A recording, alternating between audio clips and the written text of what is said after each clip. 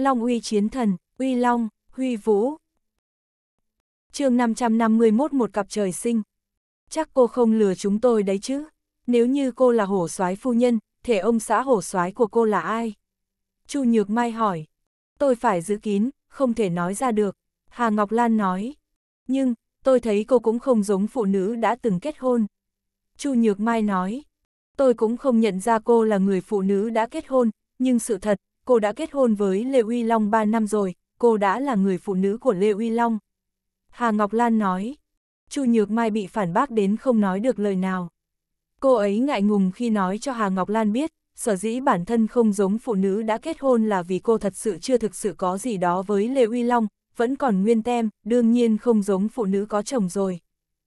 Hà Ngọc Lan thấy Chu Nhược Mai không còn gì để nói, lập tức ra dáng hổ soái phu nhân ra lệnh cho Thiên Thành, Phạm tướng quân, bảo vệ của tôi vừa nãy vì bảo vệ cho chúng ta mà bị thương nặng, sống chết chưa rõ, anh mau gọi điện đến bác sĩ Lưu, bảo anh ấy mau đến bệnh viện quân y, dốc sức cấp cứu cho bảo vệ của chúng ta.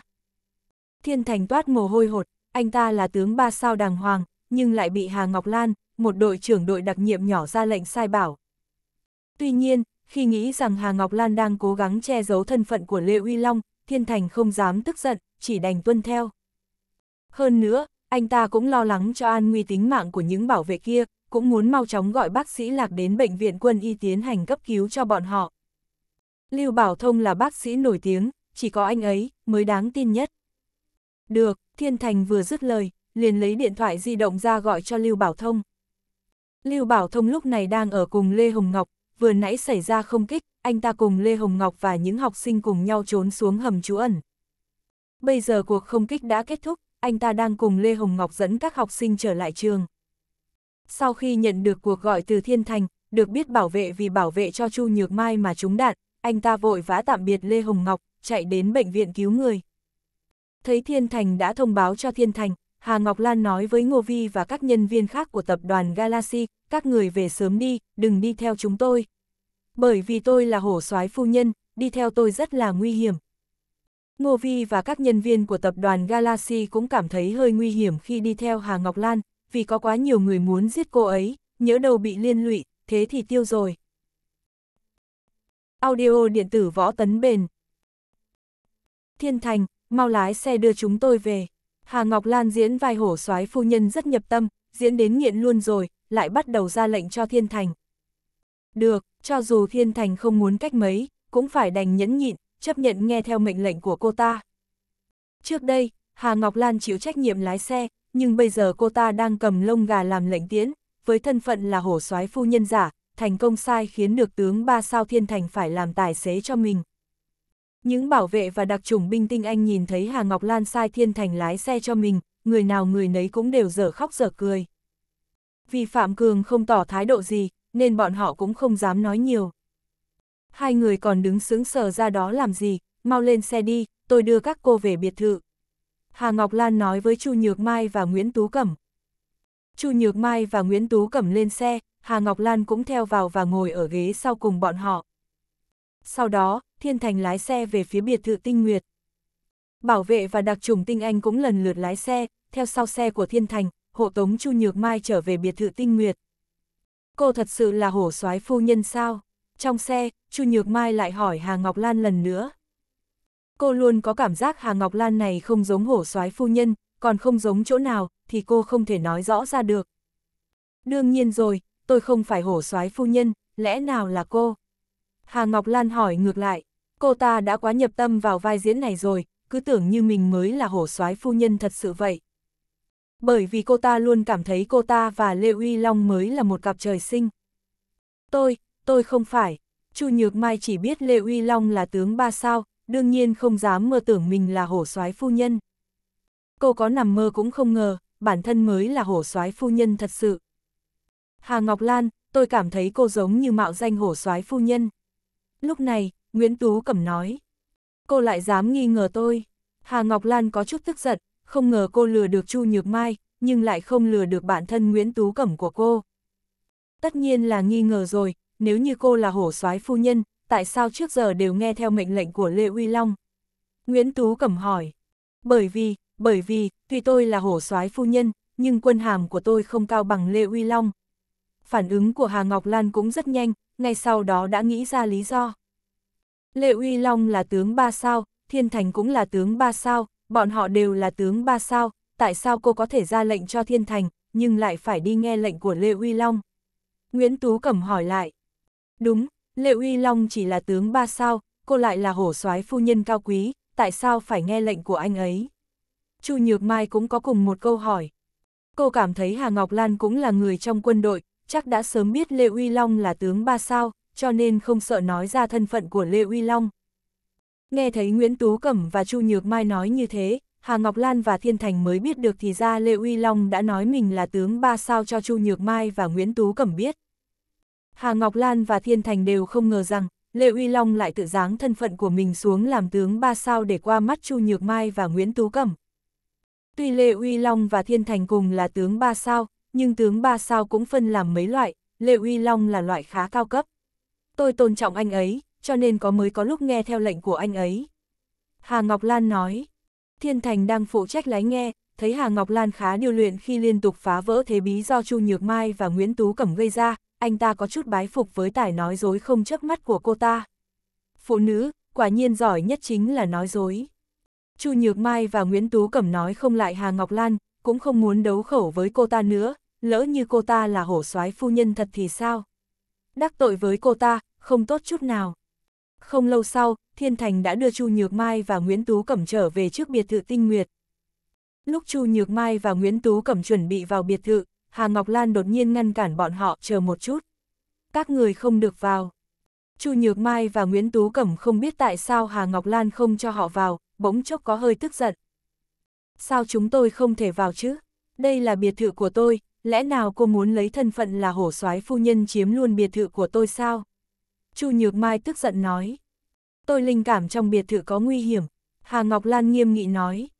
Lời của Hà Ngọc Lan vừa dứt, Thiên Thành là những đặc chủng tinh anh có chút khẩn trương, lần lượt rút súng ra. Bởi vì, bọn họ đều tin và linh cảm đặc biệt này của nữ đội trưởng đặc chủng binh, cô ta nói có nguy hiểm, nhất định là có nguy hiểm, tuyệt đối không lấy những chuyện này ra để đùa giỡn. Trong biệt thự thì có nguy hiểm gì chứ? Chu Nhược Mai thấy Hà Ngọc Lan không giống như đang hù dọa, cũng có chút lo lắng hỏi. Tôi cảm thấy có một luồng khí nguy hiểm, cụ thể là gì, thì tôi cũng không rõ. Hà Ngọc Lan nói. Thấy Hà Ngọc Lan nói thế, Thiên Thành trở nên cảnh giác hơn. Bởi vì vừa rồi khi tất cả người của mình rời khỏi biệt thự, kẻ địch có thể đã nhân cơ hội lẻn vào bên trong, âm thầm đặt bom. Mau chóng đưa chị dâu rời xa chỗ này. Thiên Thành quyết đoán, lập tức hạ lệnh. Hà Ngọc Lan lập tức kéo Chu Nhược Mai và Nguyễn Tú Cẩm trở lại xe, sau đó Thiên Thành nhanh chóng lùi xe lại. Những đặc trùng tinh anh và bảo vệ cũng lần lượt lên xe rời khỏi đó. chương 552 Linh Cảm sau khi mọi người lên xe đi xa, Thiên Thành mới hỏi Hà Ngọc Lan, cô cảm nhận được nguy hiểm gì thế? Tôi không ngửi thấy gì cả, tôi là dựa vào linh cảm thôi. Hà Ngọc Lan nói, linh cảm của cô tốt như vậy sao? Chu Nhược Mai hỏi, chỉ dựa vào linh cảm, mà đã khiến chúng tôi hoảng loạn bỏ chạy như vậy, cô có đang tỏ ra vẻ huyền bí không vậy? Nguyễn Tú Hằng có chút bất mãn nói. Dựa vào kinh nghiệm nhiều năm tác chiến của tôi, dự cảm của tôi rất linh nghiệm. Hà Ngọc Lan nghiêm nghị nói. Thiên Thành tin vào linh cảm của Hà Ngọc Lan, bởi vì Hà Ngọc Lan là đội trưởng của đội đặc công nữ, thân kinh bách chiến, nếm trải rất nhiều nguy hiểm. Hà Ngọc Lan, cô mau cho người đến biệt thự xem thử, rốt cuộc có gì nguy hiểm. Thiên Thành nói.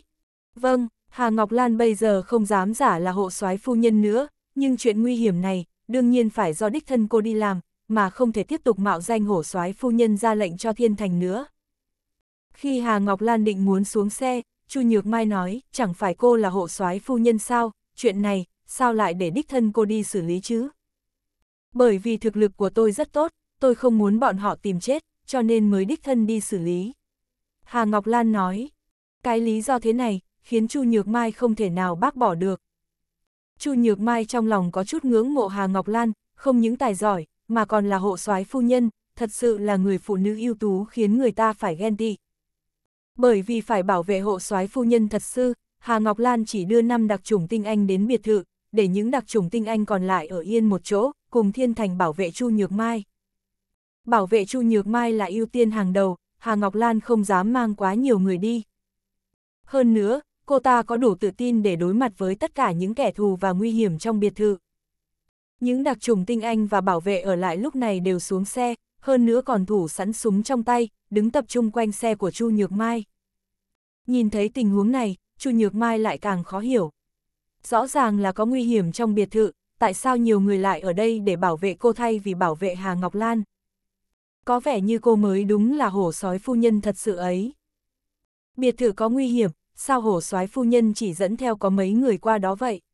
Chu Nhược Mai bối rối hỏi Thiên Thành. Thực lực của Hà Ngọc Lan rất mạnh, một mình cô ấy đi là đủ rồi, bây giờ dẫn theo 5 người đi cùng, là có hơi nhiều rồi đó. Thiên Thành nói, Hà Ngọc Lan hổ soái phu nhân cao quý, lỡ như cô ấy có bất chắc gì, chúng ta gánh không nỗi trách nhiệm. Chu Nhược Mai nói, Thiên Thành toát mồ hôi hột, hổ soái phu nhân thật sự là Chu Nhược Mai, vậy mà lại xem Hà Ngọc Lan là hổ soái phu nhân thật sự. Thật ra cũng không thể trách Chu Nhược Mai, bởi vì Lê Uy Long đã từng nói với cô, anh là tướng ba sao, cô lại chẳng hề nghi ngờ gì thân phận này của anh cả. Còn hổ soái, cả Long Quốc có tất cả năm hổ soái, đều là những người đứng sau quốc vương Long Quốc, Chu Nhược Mai nằm mơ cũng không ngờ, chồng của mình lại chính là hổ soái. Chị dâu, đừng lo lắng, Hà Ngọc Lan là một con hổ cái. Gặp thần giết thần, gặp Phật giết Phật, cô ta không có chuyện gì đâu.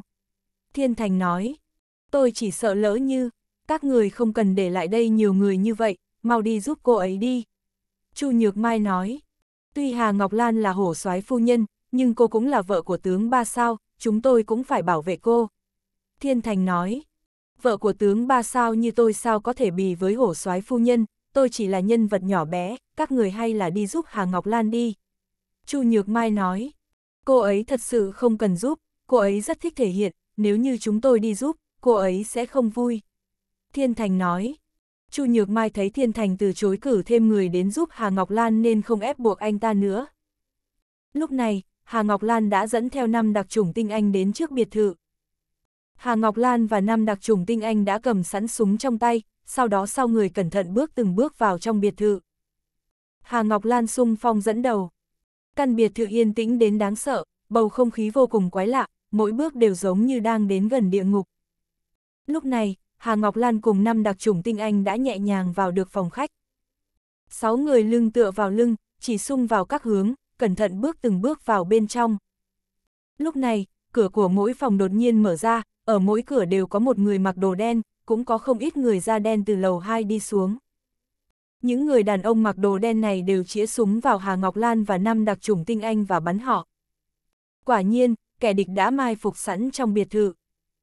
Hà Ngọc Lan và năm đặc chủng tinh anh đã chuẩn bị tâm lý từ lâu, đều phản ứng rất nhanh, lập tức tản ra, cùng lúc đó, những người áo đen này không ngừng nổ súng. Păng păng păng, păng păng păng, tiếng súng ác liệt vang lên trong biệt thự. Hà Ngọc Lan và năm đặc trùng tinh anh đều là những người có kinh nghiệm, có thể một mình chống chọi, mỗi người phụ trách đối phó với một phía của kẻ địch, những người áo đen kia cũng bị trúng đạn, gào thét thảm thiết. Nhưng kẻ địch không ngừng xuất hiện trong căn biệt thự này, từ trên hành lang của lầu 2 cũng có nhiều người xông ra, chiếm địa hình có lợi. Còn Hà Ngọc Lan và năm đặc trùng tinh anh đang ở tầng 1, hoàn toàn bị lộ trước họng súng của kẻ thù, họ đang ở một vị trí rất bất lợi, không có nơi nào để trốn, chỉ có thể dũng cảm trước bọn chúng, tránh đông né tây, không ngừng nổ súng bắn trả. Tình hình đã trở nên vô cùng nguy cấp, nếu không cẩn thận sẽ bị trúng đạn của kẻ thù. Chu Nhược Mai, Nguyễn Tú Hằng, Thiên Thành và những người khác đều rất lo lắng khi nghe thấy tiếng súng dữ dội vang lên từ biệt thự. Thiên Thành tuy biết sức mạnh của Hà Ngọc Lan, nhưng kẻ địch dám tấn công đến đây, ắt hẳn là người từng trải qua nhiều trận chiến, có nhiều kinh nghiệm, hơn nữa nghe tiếng súng là biết, số lượng kẻ địch không ít. Hà Ngọc Lan bị chúng mai phục, thật sự rất nguy hiểm. Bên trong đánh nhau rồi, Thiên Thành, mau qua giúp Hà Ngọc Lan. Chu Nhược Mai rất lo lắng cho sự an toàn của Hà Ngọc Lan, dùng ngữ khí ra lệnh nói với Thiên Thành. Được, tôi đi ngay. Thiên Thành cảm thấy tất cả kẻ thù có lẽ đã ở trong biệt thự, Chu Nhược Mai ở bên ngoài chắc cũng không gặp nguy hiểm, cũng muốn đi chi viện cho Hà Ngọc Lan. Vì vậy, Thiên Thành ngay lập tức xuống xe và nói với bảo vệ, các người ở đây bảo vệ hộ soái phu nhân, nhưng đặc trùng tinh anh khác đi theo tôi chi viện cho Hà Ngọc Lan. Vâng, các bảo vệ và đặc trùng tinh anh đồng thanh đáp. Sau đó, Thiên Thành địch thân dẫn dắt 15 đặc trùng tinh anh còn lại xông vào biệt thự. Chu Nhược Mai có hơi bất ngờ khi nghe thấy Thiên Thành nói với các binh sĩ ở lại đây bảo vệ cho hổ soái phu nhân. Hổ soái phu nhân không phải đang ở trong biệt thự sao? Thiên Thành nói binh sĩ ở lại đây bảo vệ hộ soái phu nhân rốt cuộc là có ý gì? Nguyễn Tú Hằng lần này cũng sướng sờ khi nãy nghe rõ từng câu từng chữ của Thiên Thành. Nhược Mai, vừa nãy Thiên Thành nói gì, cậu nghe rõ không? Nguyễn Tú Hằng hỏi. Chu Nhược Mai định thần lại và nói, hình như tớ nghe thấy anh ta bảo binh sĩ bảo vệ hộ soái phu nhân, những đặc chủng tinh anh còn lại thì đi theo anh ta chi viện cho Hà Ngọc Lan. Theo lời anh ta nói, vậy hộ soái phu nhân đang ở trong xe chúng ta. Nguyễn Tú Hằng nói, trên xe chỉ có hai chúng ta, lấy đâu ra hộ soái phu nhân? Chu Nhược Mai hỏi, nếu hộ soái phu nhân không có ở trên xe, thế binh sĩ thiên thành để lại bảo vệ ai? Nguyễn Tú Hằng nói, lời anh ta nói tớ cũng rất mơ hồ, không phải hộ soái phu nhân là Hà Ngọc Lan sao? Chu Nhược Mai hỏi, Hà Ngọc Lan chắc chắn không phải hộ soái phu nhân, cô ta là giả. Nguyễn Tú Hằng nói rất chắc chắn. Làm sao biết được, Chu Nhược Mai hỏi. Nếu Hà Ngọc Lan là hộ soái phu nhân, Thiên Thành sẽ không nói đi chi viện cho Hà Ngọc Lan, mà phải nói là đi chi viện cho hộ soái phu nhân. Nguyễn Tú Hằng nói, ưm ưm, phân tích của cậu cũng rất có lý. Theo như anh ta nói, cậu cảm thấy hộ soái phu nhân đó rốt cuộc là ai? Chu Nhược Mai hỏi, sao cậu lại ngốc thế, hộ soái phu nhân đó chính là cậu. Nguyễn Tú Hằng kinh ngạc nói, cái gì, hộ soái phu nhân sao có thể là tớ? Chu Nhược Mai vô cùng kinh ngạc, trước giờ cô không dám nghĩ, tên Lệ Uy Long đổ bỏ đi đó, lại là hộ soái bảo vệ. Không phải cậu thì còn ai? Lẽ nào lại là tớ? Nguyễn Tú Hằng hùng hổ hỏi. Nhưng mà, rõ ràng Lệ Uy Long nói với tớ, anh ấy là tướng ba sao, sao tớ có thể là hộ soái phu nhân? Chu Nhược Mai thực sự không ngờ được Lê Vĩnh Thiện lại là hộ soái chỉ huy của Long Quốc. Có lẽ Lê Uy Long đang gạt cậu, Nguyễn Tú Hằng nói. Tại sao Lê Uy Long lại gạt tớ? Nếu anh ấy là hổ soái thì cứ nói thẳng ra, không phải càng có thể khiến tớ bất ngờ hơn sao? Anh ấy không có lý do để gạt tớ, Chu Nhược Mai nói. Đêm đó, khi từ núi Hổ Sơn trở về, lê Uy Long đã nói với chúng ta một cách nghiêm túc khi ở trong xe, rằng anh ta chính là hộ soái đệ nhất của Long Quốc. Chỉ là lúc đó chúng ta không tin, sau này anh ta mới đổi lại nói bản thân là tướng ba sao. Nguyễn Tú Hằng nói. Chu Nhược Mai nghe Nguyễn Tú Hằng nói vậy, cô cũng nhớ rằng đêm đó Lê Uy Long đã nói rằng mình là hộ soái của Long Quốc, và cô và cả Nguyễn Tú Hằng đều cho rằng anh đang nói khoác. Lúc đó còn tưởng anh đang nói bậy bạ, mắng anh một trận. Nếu anh thật sự là hộ soái bảo vệ, sao có thể cưới một cô gái tầm thường như cô làm vợ, sao lại ở nhà họ Chu chịu nhẫn nhục, mặc người ta xỉ vả ba năm nay chứ? Bởi vì, lúc đó bất kể bản thân như thế nào cũng sẽ không tin anh là hộ soái bảo vệ. Lẽ nào, anh thật sự là hộ soái bảo vệ sao? Khi anh ấy xác nhận mình là hộ soái bảo vệ của Long Quốc, nhưng tớ lại có chút không tin tưởng, nếu như Lê Uy Long thực sự là hộ soái vệ quốc, với thân phận lẫy lừng của anh ta, sao có thể cưới tớ chứ? Chu Nhược Mai nói, bởi vì anh ta yêu cậu, tình yêu, không phân biệt thân phận địa vị, Nguyễn Tú Hằng nói. Nhưng ngay cả khi anh ấy yêu tớ, ba năm qua anh ấy ở nhà họ Chu chịu mọi ánh mắt ghẻ lạnh và chế nhạo, nếu anh ấy là hộ soái, sao có thể nhẫn nhịn những lời sỉ nhục như thế? Chu Nhược Mai nói, lý do tại sao thì tớ cũng không rõ, nhưng mà, cậu nghĩ kỹ thử xem, nếu Lê Uy Long không phải là hộ soái, hôn lễ của cậu và anh ta, sao có thể điều động nhiều trang bị, xe tăng, xe bọc thép, chiến cơ hơn nữa còn thiết quân luật toàn thành phố như vậy, ngay cả tướng bốn sao như Tạ Ngọc Hải cũng phải đích thân đi cùng anh ta. Hôn lễ đó, dùm ben khắp nước, nếu đặt ở thời cổ đại, còn long trọng hơn cả hôn lễ của hoàng đế nữa. Nếu anh ta chỉ là tướng ba sao, chắc chắn không làm nỗi hôn lễ như thế này đâu. Nguyễn Tú Hằng nói, chương 553 đơn phương chống địch. Chu Nhược Mai đột nhiên hiểu ra, nghe cậu nói như thế, anh ấy thật sự không đơn giản chỉ là tướng ba sao. Đúng vậy, có thể anh ta chính là hộ soái bảo vệ. Trận chiến ở thung lũng Ngạc Na, anh ta điều động một đám quân hung bạo, trực tiếp tiêu diệt bang Lion Gate và nhà họ Trương, đây mới chính là cách làm việc của một hổ soái vệ quốc. Nguyễn Tú Hằng nói. Nghe Nguyễn Tú Hằng nói như thế, Chu Nhược Mai càng tin Lê Uy Long có thể là hộ soái vệ quốc thật sự. Đồng thời, cô còn nhớ tới lần đó Thiên Thành xông vào nhà họ Chu, mọi người đều gọi Lê Uy Long là hổ soái, hơn nữa còn quỳ xuống cầu xin Lê Uy Long xuống núi đánh giặc, lúc đó cả nhà họ sở, bao gồm cả cô, đều cho rằng Lê Uy Long và Thiên Thành đang diễn kịch. Bây giờ xem ra, có thể cô đã trách lầm anh, anh thật sự có khả năng chính là hổ soái bảo vệ. Ngoài ra, lễ truy điệu mà Lê Uy Long tổ chức cho bố nuôi anh ta cũng vang dội khắp thành phố Quốc Hòa, tất cả binh sĩ đều đến tế bái. Mấu chốt thấy rõ, Lê Uy Long chính là hộ soái bảo vệ. Nguyễn Tú Hằng nói, chờ đã, thông tin này khiến tớ quá bất ngờ, tớ phải bình tĩnh một lát. Lòng ngực Chu Dư đập thình thịch, nếu chồng cô chính là hộ soái vệ quốc, thì cả cái Long quốc này, há chẳng phải không ai địch lại sao? Nhược Mai, tớ thật sự ghen tị với cậu, có một ông chồng làm hộ soái, cậu là hộ soái phu nhân, có thể hưởng thụ vinh hoa phú quý dưới một người trên vạn người rồi. Nguyễn Tú Hằng nói. Lúc này, cuộc giao tranh ác liệt trong căn biệt thự vẫn tiếp diễn. Do có số lượng lớn kẻ thù ẩn nấp trong biệt thự, Hà Ngọc Lan đã dẫn 5 đặc chủng tinh anh chiến đấu một mình và ở địa thế không thuận lợi, đã có hai đặc chủng tinh anh bị bắn trúng. Mau kéo những đồng chí bị thương vào phòng trốn đi.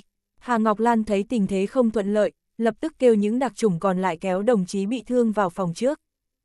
Nếu không, dưới sự hỗn loạn, đồng đội bị thương sẽ càng trúng đạn nhiều hơn. Lúc này, tất cả kẻ địch trong căn phòng ở tầng 1 đã bị tiêu diệt toàn bộ, ba đặc chủng tinh anh không bị thương nghe được mệnh lệnh của Hà Ngọc Lan liền kéo những chiến hữu bị thương vào trong một căn phòng. Hà Ngọc Lan hai tay cầm súng và liên tục bắn vào kẻ thù trên lầu để yểm hộ.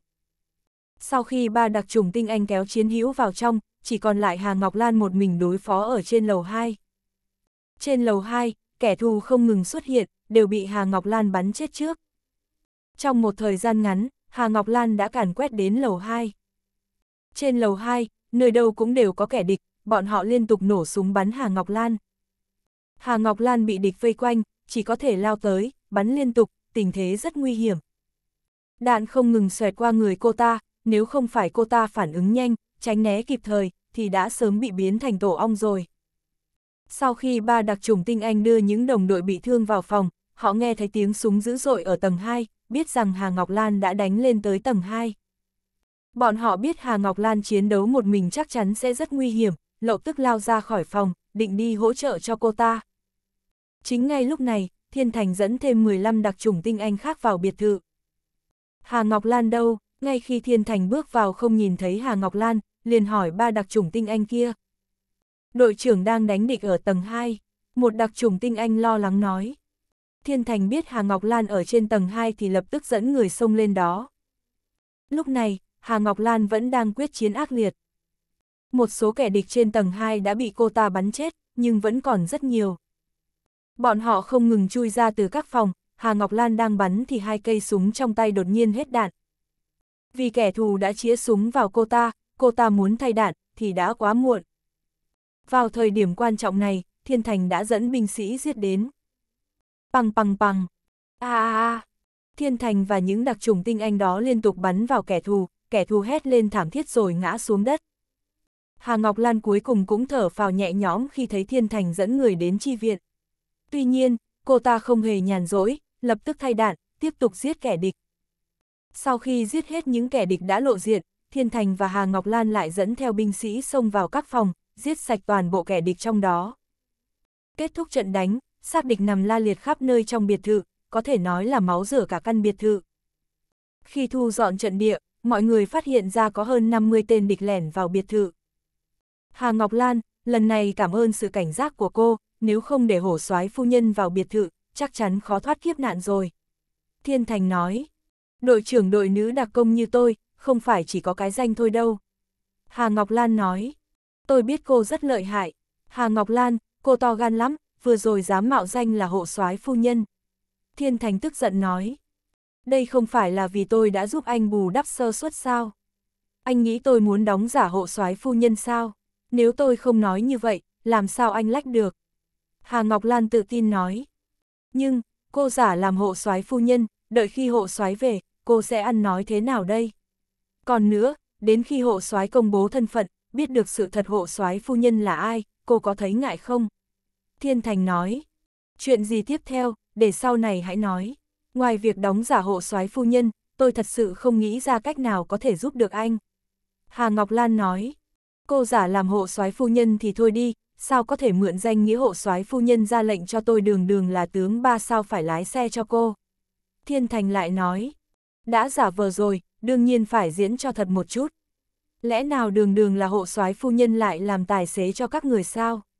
Nếu như để tôi lái xe, Chu Nhược Mai sẽ nghi ngờ thân phận của tôi. Hà Ngọc Lan nói, được rồi, được rồi, tôi thật sự phục cô luôn, diễn nhập tâm như vậy mà chẳng thấy ngượng chút nào. Thiên Thành nói, nếu không phải là do anh lỡ miệng, tôi có cần phải dở trò này không? Lần sau nói chuyện phải cẩn thận một chút, đừng lúc nào cũng lỡ miệng. Bằng không, tôi thật sự không giúp được anh. Hà Ngọc Lan nói, cô tưởng tôi muốn lắm sao? Lúc đó không phải tình thế cấp bách, thì tôi đâu có buộc miệng nói ra. Thiên Thành nói, được rồi, thôi nói những chuyện này đi, chúng ta có hai đồng chí trúng đạn, đang bị thương, mau chóng đưa đến bệnh viện quân ý, bảo bác sĩ lạc chữa trị cho bọn họ, Hà Ngọc Lan nói. Đồng chí bị thương ở đâu? Thiên Thành liếc nhìn xung quanh không thấy người trúng đạn phe mình đang ở đâu, nên hỏi. Trong phòng, vừa rồi chiến đấu căng thẳng, tôi đã nhờ các đồng chí khác đưa bọn họ vào trong. Hà Ngọc Lan nói. Được rồi, thế mau đưa bọn họ đến bệnh viện quân y cấp cứu trước đi. Thiên Thành nói. Thế là mọi người đi xuống lầu, định đưa hai đặc chủng bị thương đến bệnh viện quân y. Để bảo vệ hộ soái phu nhân, hôm nay trước tiên là có 5 bảo vệ trúng đạn, giờ lại có hai đặc chủng tinh anh trúng đạn, tất cả là 7 người bị trọng thương. Khi xuống đến tầng 1, một vài đặc chủng tinh anh đã vào phòng, sẵn sàng cõng các đồng chí bị thương ra ngoài. Chính ngay lúc này, có một kẻ địch thân dính đầy máu nằm trên tầng 2, lấy từ trong người ra một cái điều khiến một cách khó khăn, sau đó, hắn ta ấn vào nút đỏ. Bíp, bíp, bíp. Một âm thanh rất nhỏ vang lên trong biệt thự. Tuy lúc này có rất nhiều người, bọn họ đều tập trung chú ý vào hai vị đặc chủng bị thương, mà không nghe thấy âm thanh nhỏ đó. Không hay rồi, có bom trong biệt thự. Hà Ngọc Lan luôn cảnh giác và hét lên ngay sau khi nghe thấy tiếng động. Nghe thấy Hà Ngọc Lan hét lên như vậy, tất cả mọi người đều kinh ngạc. Quả bom ở đâu? Thiên Thành hỏi. Trong phòng ngủ chính ở tầng 2, Hà Ngọc Lan vừa nói vừa lao lên tầng 2. Bốn người khiêng những đồng đội bị thương ra khỏi biệt thự, những người còn lại vội vàng giúp tháo bom. Thiên Thành lập tức ra lệnh. Nếu không phải hai vị đặc trùng tinh anh bị thương vẫn còn ở trong phòng ở lầu một chưa được chuyển đi, thì anh ta đã lập tức hạ lệnh rút lui khỏi biệt thự. Vì biệt thự dù có bị đánh bom cũng không sao, nhưng có những đặc trùng tinh anh bị thương trong biệt thự, sẽ mất một thời gian để xử lý, vì vậy họ chỉ có thể chọn cách phá hủy quả bom. Nếu quả bom không được phá hủy, biệt thự sẽ bị nổ tung, và những người đặc trùng tinh anh bị thương cũng sẽ hy sinh. Anh ta không thể bỏ mặc bọn họ mà chạy thoát được. Nghe được mệnh lệnh của Thiên Thành, bốn vị đặc trùng tinh anh lập tức tăng tốc nhấc các đồng đội bị thương ra khỏi phòng, những vị đặc trùng tinh anh khác đi theo Hà Ngọc Lan lên tầng 2. Hà Ngọc Lan là người chạy lên lầu 2 trước tiên, xông thẳng vào phòng của Chu Nhược Mai. Sau đó, lần theo âm thanh, nhanh chóng tìm ra được nơi đặt bom. Đây là một quả bom hẹn giờ, được giấu dưới giường của Chu Nhược Mai. Cô ta nằm sấp xuống đáy giường và nhìn thấy quả bom hẹn giờ này, chỉ 10 giây trước khi nổ. Chỉ trong 10 giây, không thể tháo bom. Thời gian do đối phương thiết lập chỉ là 20 giây kể từ khi nhấn nút. Ở giây thứ 20, nếu kẻ địch chưa bị tiêu diệt hết và muốn rút lui, thì thời gian đó là đủ để cho bọn họ dùng. Họ muốn giết Chu Nhược Mai, hộ soái phu nhân của Long Quốc, khiến cho tinh thần của Lê Uy Long bị sao nhãng. Cho nên, căn bản sẽ không để dư thời gian cho đám người Hà Ngọc Lan tháo bom. Theo kế hoạch ban đầu của bọn họ, nếu Chu Nhược Mai vào biệt thự mà ám sát không thành, thì bước cuối cùng sẽ cho nổ bom, cùng chết chung một thể. Do Hà Ngọc Lan biết trước biệt thự đang gặp nguy hiểm nên nhiệm vụ ám sát Chu Nhược Mai của kẻ địch đã thất bại. Ngay cả khi chúng không thể nổ chết hộ soái phu nhân, thì cũng có thể giết được tướng ba sao thiên thành, khiến Long Quốc khuyết đi một mãnh tướng, bọn họ sẽ không uổng chuyến này, lập được đại công. Phải mất 10 giây từ khi Hà Ngọc Lan khi thấy âm thanh tới khi tìm được nơi đặt bom. Bây giờ chỉ còn chưa đầy 10 giây nữa, cô không còn nhiều thời gian. Quả bom sắp nổ rồi, đừng qua đây, quay lại đi. Hà Ngọc Lan lo lắng hét lên khi nhìn thấy những đặc trùng tinh anh ồ ạt chạy tới. Cùng lúc đó, cô ta nhanh chóng nhặt quả bom hẹn giờ lên, phóng nhanh tới cửa sổ, trực tiếp phá cửa sổ, từ trên lầu 2 nhảy xuống. Cô ấy sẽ mang quả bom hẹn giờ này đến một nơi an toàn bên ngoài biệt thự và cho nó phát nổ. chương 554 liều mạng ôm bom. Những đặc trùng kia nhìn thấy Hà Ngọc Lan ôm quả bom, phá cửa sổ ra, từ lầu 2 nhảy xuống, tất cả đều bị kinh hãi. Quả bom rất nhanh sẽ phát nổ, mà Hà Ngọc Lan lại đang ôm quả bom từ lầu 2 phá cửa sổ xông ra, chạy đến bên ngoài biệt thự, chắc chắn vô cùng nguy hiểm. Thiên Thành ở lầu một cũng nghe thấy tiếng hét của Hà Ngọc Lan, trong lòng kinh hãi. Đội trưởng Hà, một người thuộc đội đặc nhiệm hét lớn, muốn từ cửa sổ đuổi theo. Những người thuộc đội đặc nhiệm còn lại lập tức ngăn anh ta lại. Đội trưởng sẽ không có chuyện gì đâu, chúng ta mau rút xuống thôi. Một người thuộc đội đặc nhiệm nói. Mọi người đều biết, bây giờ đuổi theo cũng đều muộn rồi, chỉ có thể lui xuống lầu một trước. Rốt cuộc là chuyện gì vậy? Thiên Thành hỏi những người thuộc đội đặc nhiệm lui xuống. Bom hẹn giờ sắp nổ rồi, đội trưởng vì sự an toàn của chúng ta, một mình ôm quả bom phá cửa ra ngoài, từ lầu 2 nhảy xuống. Một người thuộc đội đặc nhiệm nói. Thiên Thành lập tức lo lắng, trong lòng âm thầm cầu nguyện, Hà Ngọc Lan không thể xảy ra chuyện gì được. Tất cả mọi người đều trầm mặc, đều cầu nguyện cho Hà Ngọc Lan. Mọi người đều biết, Hà Ngọc Lan làm như vậy hoàn toàn đều là vì cứu tất cả những đồng đội ở trong biệt thự. Bọn họ cũng biết là cô ấy đã ôm quả bom đi rồi, biệt thự cũng đã an toàn, thế nên mọi người đều không chạy ra khỏi biệt thự, mà vẫn tiếp tục ở lại đây. Chu Nhược Mai và Nguyễn Tú Hằng ở bên ngoài biệt thự cùng với hộ vệ nhìn thấy Hà Ngọc Lan đột nhiên nhảy từ cửa sổ tầng 2 xuống đều kinh hãi, không biết Hà Ngọc Lan tại sao lại đột nhiên nhảy từ tầng 2 xuống. Sau khi Hà Ngọc Lan nhảy từ lầu 2 xuống, ôm lấy quả bom, chạy về hướng ngược lại với Chu Nhược Mai. Hà Ngọc Lan này rốt cuộc phát bệnh gì vậy?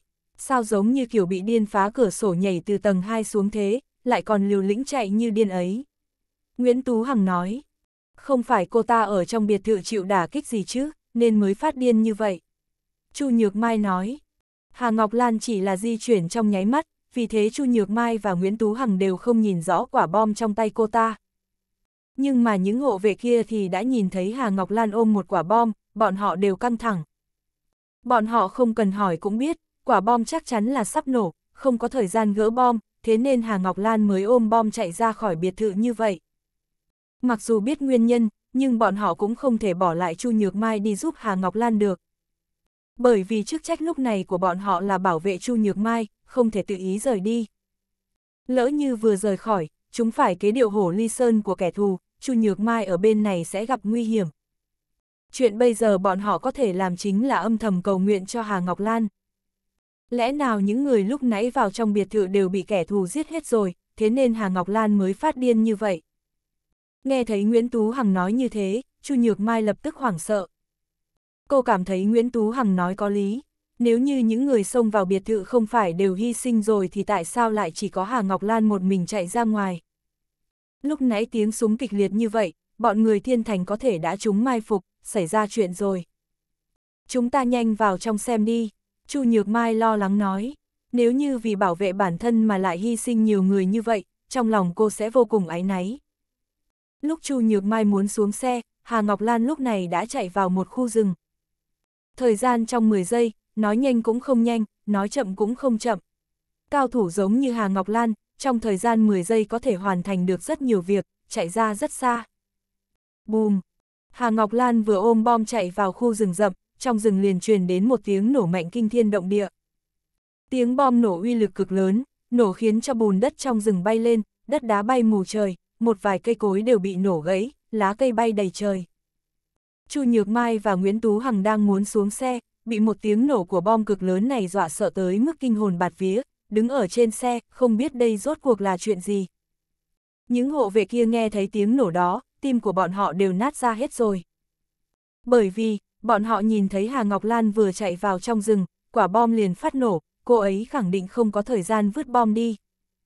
Thiên Thành và một số người thuộc đội đặc nhiệm ở trong biệt thự nghe thấy nhanh như vậy đã truyền tới tiếng nổ, tim của cũng tan vỡ.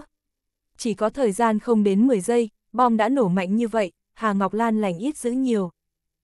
Thiên Thành và những người thuộc đội đặc nhiệm cũng như phát điên, từ trong biệt thự chạy ra ngoài, chạy điên cuồng về hướng phát nổ trong khu rừng.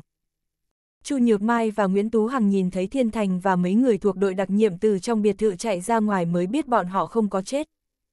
Vừa nãy rốt cuộc xảy ra chuyện gì? Lúc này Nguyễn Tú Hằng mới định thần lại, nói. Vừa nãy Hà Ngọc Lan chạy vào trong khu rừng thì lập tức phát nổ, cô ta chắc đã ôm một quả bom, chạy về phía khu rừng đó. Chu Nhược Mai cuối cùng cũng hiểu ra rồi, cũng nhớ đến lúc Hà Ngọc Lan nhảy xuống từ lầu 2, trong ngực ôm một thứ gì đó, chắc chắn là bom. Nói như vậy, Hà Ngọc Lan không phải là bị bom nổ chết rồi chứ? Nguyễn Tú Hằng sợ hãi vô cùng. Không biết nữa, chúng ta nhanh vào xem đi. Chu Nhược Mai lúc này đau tim gần chết, nếu như Hà Ngọc Lan thật sự bị nổ chết, cô sẽ vô cùng áy náy. Bởi vì hết thảy những thứ Hà Ngọc Lan làm đều là để bảo vệ cô. Nếu như không phải Hà Ngọc Lan cảnh giác, bản thân bây giờ đã sớm chết trong biệt thự rồi. Mặc dù cô luôn đối địch với Hà Ngọc Lan, lo lắng cô ấy sẽ cướp chồng của mình, nhưng cô thật sự không hy vọng Hà Ngọc Lan chết. Chu Nhược Mai nhanh chóng xuống xe, Nguyễn Tú Hằng cũng xuống theo, sau đó cùng chạy về hướng khu rừng xảy ra vụ nổ. Mấy hộ vệ nhìn thấy Chu Nhược Mai và Nguyễn Tú Hằng chạy về hướng khu rừng, bọn họ cũng không ngăn cản mà chạy theo cùng. Bởi vì bọn họ cũng muốn đi xem tình hình của Hà Ngọc Lan. Thiên Thành và những người thuộc đội đặc nhiệm dẫn đầu chạy về hướng khu rừng xảy ra vụ nổ, nhưng lại không nhìn thấy Hà Ngọc Lan. Hà Ngọc Lan, đội trưởng Hà, Thiên Thành và những người thuộc đội đặc nhiệm la khàn cả học, đều không cầm được nước mắt. Bởi vì không nhìn thấy Hà Ngọc Lan, vậy chứng tỏ cô ấy đã bị nổ cho thịt nát xương tan rồi. Sống phải thấy người, chết phải thấy xác, bây giờ đến cả thi thể cũng không tìm thấy, làm sao khiến người ta có thể không bi thương được chứ? Chốc lát sau, Chu Nhược Mai, Ngô Vũ Hằng và một số hộ vệ cũng chạy đến địa điểm xảy ra chuyện. Nhìn thấy Thiên Thành và những người thuộc đội đặc nhiệm một bên rơi nước mắt la lên, một bên tìm kiếm khắp nơi, Chu Nhược Mai, Nguyễn Tú Hằng và mấy người hộ vệ không cần hỏi cũng biết Hà Ngọc Lan lành ít giữ nhiều. Tất cả mọi người đều nhịn không được mà rơi nước mắt, bắt đầu phân tán ra, đi khắp nơi tìm kiếm tung tích của Hà Ngọc Lan. Chỉ cần không nhìn thấy thi thể của Hà Ngọc Lan, hay là phần chân tay còn lại của thân thể, cô ấy sẽ có hy vọng sống. Chu Nhược Mai và Nguyễn Tú Hằng cũng cùng tìm kiếm Hà Ngọc Lan. Lúc này, hai người đi đến bên một cây đại thụ, đột nhiên nhìn thấy Hà Ngọc Lan mặt úp xuống dưới, nằm bò trên mặt đất, toàn thân lấm lem bùn đất. chương 555 cô không phải là hộ soái phu nhân. Thấy tình hình này, cả Chu Nhược Mai và Nguyễn Tú Hằng đều vô cùng hoảng sợ. Hà Ngọc Lan ở đây, Chu Nhược Mai hét lên. Nghe thấy tiếng hét của Chu Nhược Mai, Thiên Thành, đội đặc nhiệm và mấy hộ vệ kia đều lập tức chạy tới. Thấy Hà Ngọc Lan nằm sấp xuống đất không hề nhúc nhích, mọi người lập tức lật cô ấy lại. Trên người Hà Ngọc Lan không có vết thương rõ ràng nào, nhưng sau khi lật người cô ấy lại, cô ấy vẫn bất động.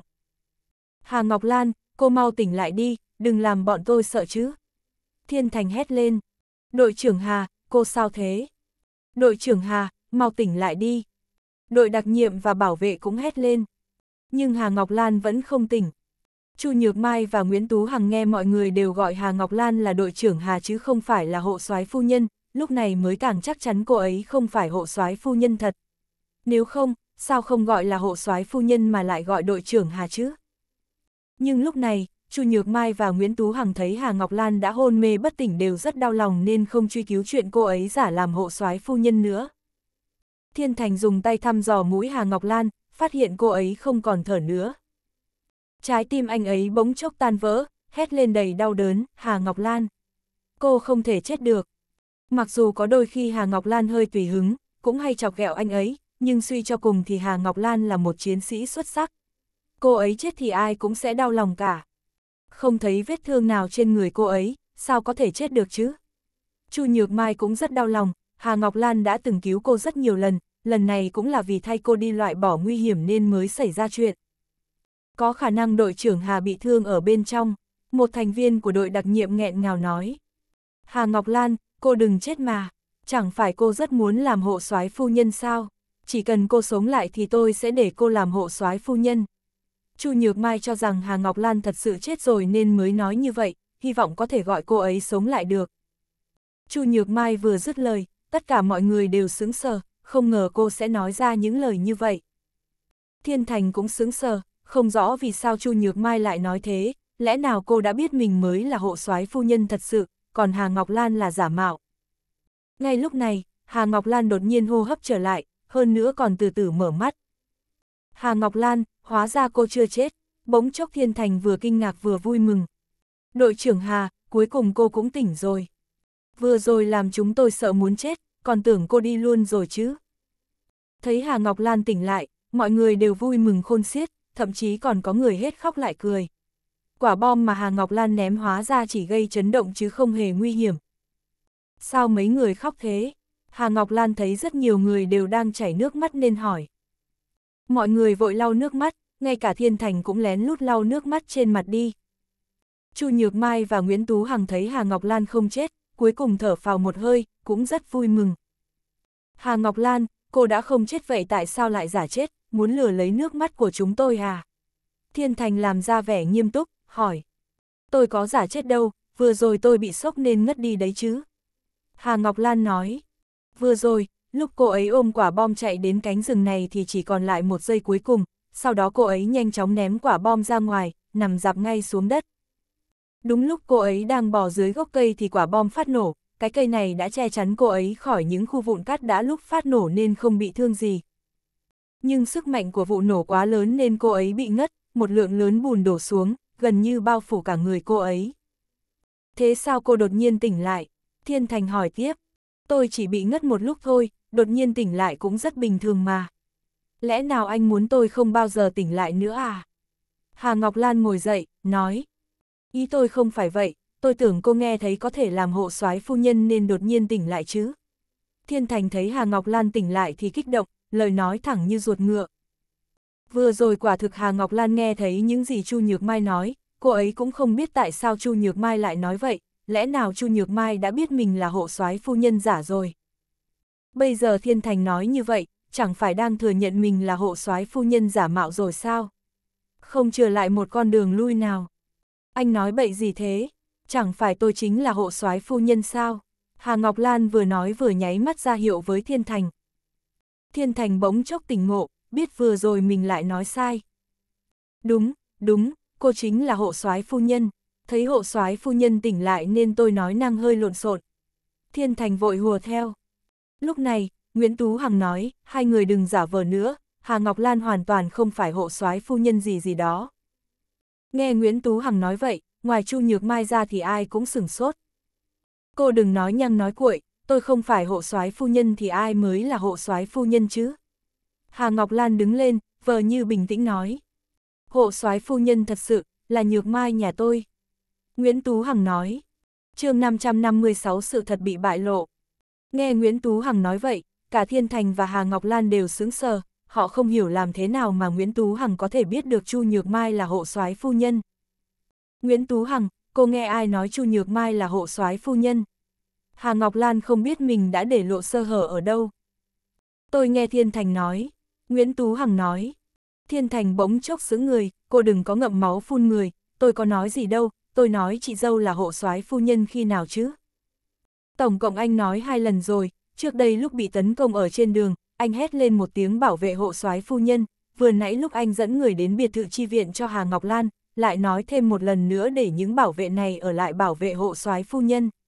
Từ đó cho thấy, nhược mai nhà tôi chính là hộ soái phu nhân.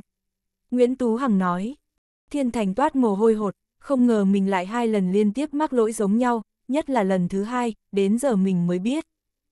Vừa nãy vì tiếng súng ác liệt trong biệt thự, anh ấy lo cho sự an toàn của Hà Ngọc Lan và năm thành viên của đội đặc nhiệm, vì quá nóng lòng lên lỡ miệng nói ra. Mặc dù trên chiến trường anh ấy trí dũng song toàn, nhưng thực ra anh ấy là một người vụng về, với một số chuyện nhỏ nhặt không quá quan trọng thì thường sẽ để xảy ra vấn đề. Anh ấy không phải đặc công, không phải gián điệp, anh ấy sinh ra là để làm một vị tướng chiến đấu trên chiến trường, về chuyện trong tình thế cấp bách nên lỡ miệng để lộ thân phận của Chu Nhược Mai, anh ấy cảm thấy vô cùng bình thường. Hà Ngọc Lan biết vừa rồi mình không ở đây, Thiên Thành lại lỡ miệng lần nữa thì cô ấy cũng bất lực luôn rồi. Bởi vì cô ấy biết Nguyễn Tú Hằng và Chu Nhược Mai đều không phải kẻ ngốc, trước đây hai người họ vốn đã nghi ngờ mình là hộ soái phu nhân giả mạo rồi, bây giờ Thiên Thành hai lần liên tục để lộ thì làm sao có thể giúp anh ấy cứu vớt được nữa đây. Lúc này, Chu Nhược Mai nói, chuyện đến nước này, các người mau nói cho tôi biết đi, rốt cuộc thân phận thật sự của Lê Uy Long là gì, có phải anh ấy là hộ soái không? Thiên Thành và Hà Ngọc Lan đưa mắt nhìn nhau, không biết nên trả lời câu hỏi của Chu Nhược Mai thế nào. Bởi vì Lê Uy Long bảo họ phải giữ bí mật thân phận của anh, chưa có được sự đồng ý của anh thì họ không dám nói bậy. Nhưng giờ chuyện đã lộ rồi, họ muốn phủ nhận thì cũng không tìm được lý do gì thích hợp nữa. Đội đặc nhiệm và những hộ vệ thấy Thiên Thành và Hà Ngọc Lan không nói, đương nhiên họ cũng không dám nói bậy, ai ai cũng cúi đầu, không dám nhìn Chu Nhược Mai. Chu Nhược Mai thấy mọi người đều im lặng, trong lòng lại càng chắc chắn Lê Uy Long thật sự có thể là hộ soái vệ quốc. Trong lòng cô vừa bất ngờ vừa vui mừng, nhưng trước khi có được lời xác nhận chính thức, cô vẫn không dám hoàn toàn tin rằng Lê Uy Long là hộ soái vệ quốc. Bởi vì thân phận hộ soái vệ quốc này, quả thực khiến người ta rất chấn động, rất khó mà tin được. Cô thật sự không dám tưởng tượng, chồng mình sẽ là hộ soái vệ quốc. Phải có được câu trả lời khẳng định thì mới có thể tin. Thế là Chu Nhược Mai hỏi thẳng Hà Ngọc Lan, Hà Ngọc Lan, cô nói đi. Lê Uy Long có phải hộ soái vệ quốc không? Chỉ cần cô nói ra sự thật thì tôi sẽ không truy cứu chuyện cô giả mạo làm hộ soái phu nhân nữa. Vừa nãy tôi bị ngất nên đầu vẫn còn choáng lắm, hình như hơi mất trí nhớ rồi, có vài chuyện tôi tạm thời không nhớ nổi, chị hỏi Thiên Thành đi. Hà Ngọc Lan rất nhanh trí, ném hết vấn đề khó sang cho Thiên Thành. Dù sao cái họa này là do Thiên Thành gây ra, phải để anh ấy gánh lấy. Đến lúc Lê Uy Long truy cứu thì cũng không liên quan đến mình. Thiên Thành không ngờ Hà Ngọc Lan sẽ đá cái nồi này về phía mình một cách hoàn hảo đến thế, anh ấy chừng mắt nhìn Hà Ngọc Lan. Đương nhiên anh ấy biết chắc chắn Hà Ngọc Lan đang giả vờ, nếu người ta mà mất trí nhớ thì suy nghĩ còn có thể rõ ràng như vậy à. Tất nhiên Chu Nhược Mai cũng biết Hà Ngọc Lan không muốn trả lời mình, đành phải quay sang hỏi Thiên Thành, Thiên Thành, Hà Ngọc Lan đã mất trí nhớ rồi, vậy thì anh trả lời câu hỏi của tôi đi. Rốt cuộc Lê Uy Long có phải là hộ soái hay không? Thiên Thành bỗng chốc rơi vào thế tiến thoái lưỡng nan, một bên là hộ soái vệ quốc Lê Uy Long yêu cầu phải giữ bí mật, một bên là hộ soái phu nhân chất vấn, anh ấy đứng ở giữa thật sự rất khó xử. Anh ấy biết, sớm muộn gì Chu Nhược Mai cũng sẽ biết được thân phận của Lê Uy Long, anh ấy không dám nói dối hộ soái phu nhân nữa. Nhưng, trước khi có được sự đồng ý của Lê Uy Long, anh ấy cũng không dám nói sự thật cho Chu Nhược Mai biết. Chị dâu, gạt vấn đề này qua một bên trước đã, hai thành viên đội đặc nhiệm của chúng ta trúng đạn, bị thương rất nặng, giờ vẫn đang ở trong biệt thự, chúng ta đưa họ đến bệnh viện quân y cấp cứu trước, cứu người quan trọng mà. Cái khó ló cái khôn, Thiên Thành đột nhiên nhớ đến hai thành viên đội đặc nhiệm bị thương vẫn đang ở trong biệt thự, cho nên lấy việc cứu người quan trọng để vượt qua cửa này trước rồi tính sau. Vậy chúng ta mau quay lại đưa họ đến bệnh viện quân y chữa trị trước rồi nói tiếp. Chu Nhược Mai biết có người bị thương nặng, tất nhiên cũng biết cứu người quan trọng, nên sẽ không tra hỏi về chuyện của Lê Uy Long nữa. Thiên Thành bỗng chốc như được ân xá, được, mọi người theo tôi quay lại, đưa các anh em bị thương đến bệnh viện quân y, để bác sĩ lưu cấp cứu. Rõ, đội đặc nhiệm và các bảo vệ đồng thanh nói. Thế là mọi người nhanh chóng quay lại biệt thự.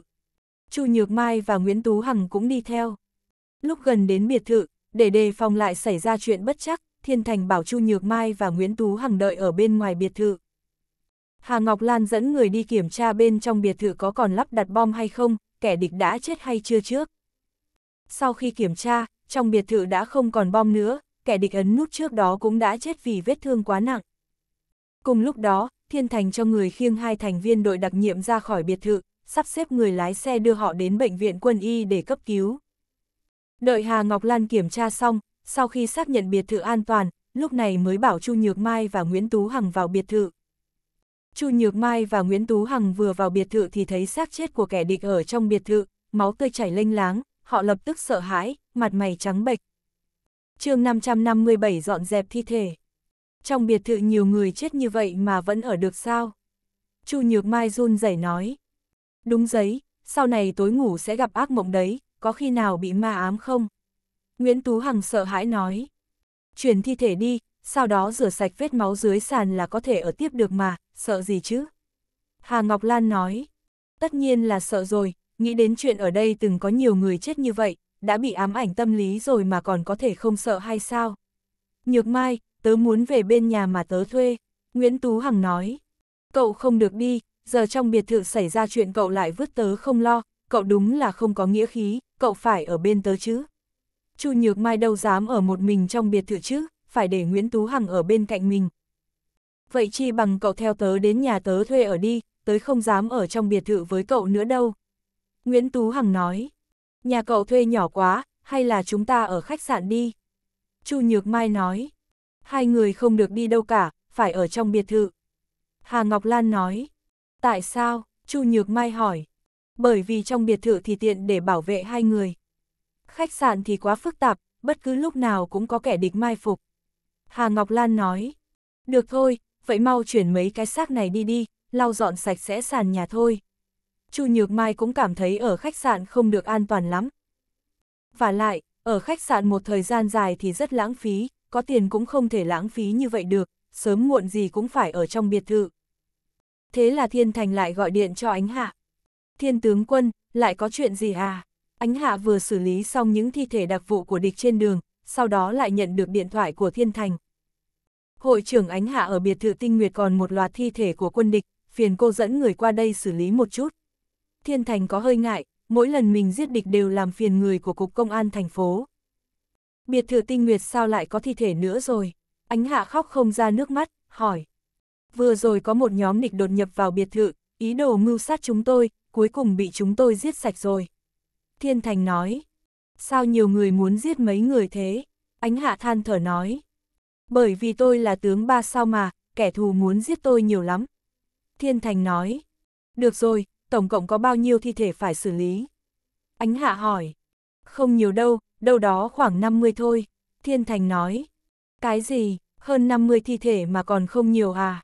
Ánh hạ cạn lời, cục công an thành phố của mình thật đúng với cái tên đội chuyên đi thu thập thi thể rồi. Theo tôi thấy thì chỉ 50 thi thể thật sự không được xem là nhiều đâu. Thiên Thành nói. Được rồi, để tôi qua đó xử lý. Ánh hạ cũng hết cách, đây là trách nhiệm của mình mà, chỉ có thể đồng ý thôi. Vậy phiền hội trưởng ánh hạ rồi. Thiên Thành nói. Chu Nhược Mai và Nguyễn Tú Hằng thấy trong biệt thự nhiều xác chết như vậy, máu tươi chảy lênh láng trên đất, hai người bọn họ quả thực không dám ở trong biệt thự nữa. Thế là hai người lấy bóng rổ đến sân bóng chơi, định đợi Ánh Hạ và nhóm Thiên Thành xử lý xong thi thể, làm sạch sàn nhà thì mới vào lại. Nhân lúc Ánh Hạ chưa đến, Thiên Thành tranh thủ gọi cho Lê Uy Long báo cáo tình hình.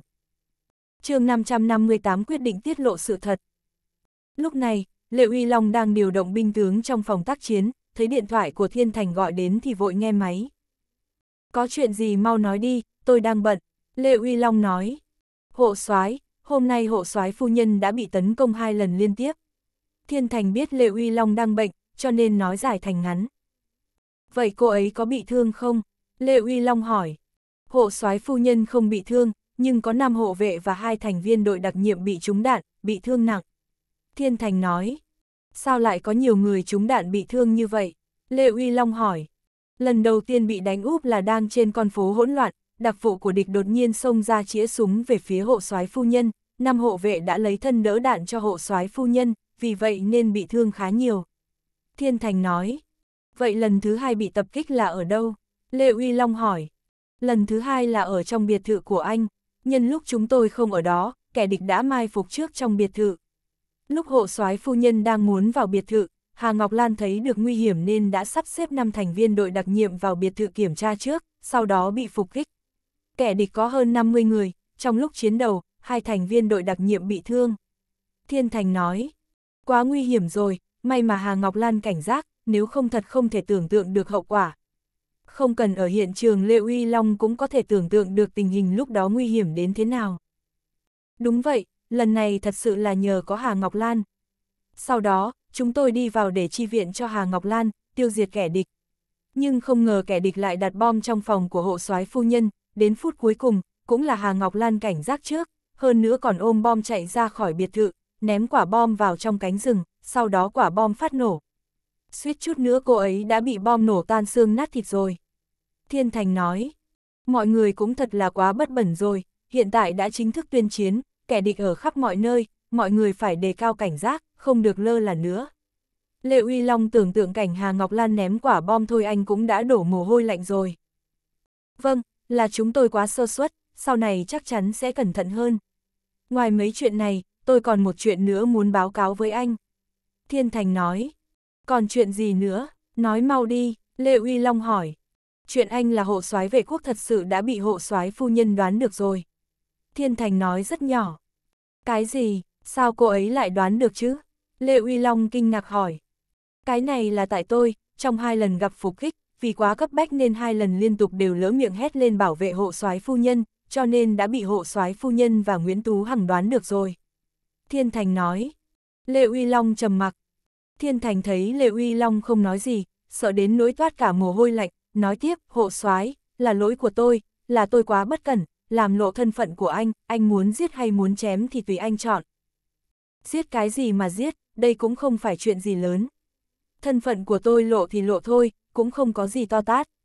Sớm muộn gì tôi cũng phải để cô ấy biết thân phận của tôi mà. Lê Uy Long nói. Thiên Thành nghe thế thì như chút được gánh nặng, hộ soái anh thật sự định nói thẳng thân phận của anh cho hộ soái phu nhân biết à? Phải, bây giờ cuộc chiến đã bắt đầu rồi, thân phận của tôi có tiếp tục giấu nữa thì cũng chẳng có ý nghĩa gì. Lê Uy Long nói. Được, vậy lát nữa tôi nói thân phận thật sự của anh cho hộ soái phu nhân biết. Thiên Thành vui vẻ nói. Đừng, anh khoan hãng nói với cô ấy. Lê Uy Long nói. Tại sao, chẳng phải anh nói muốn thẳng thắn với cô ấy à? Thiên Thành không hiểu hỏi lại. Nếu nói thì cũng phải do tôi tự nói với cô ấy. Lệ Uy Long nói. Vậy khi nào anh nói với cô ấy? Chúng tôi sắp không giấu nổi nữa rồi. Thiên Thành nói. Ngày mai tôi sẽ quay về Quốc Hòa một chuyến, đến lúc đó tôi tự mình nói với cô ấy.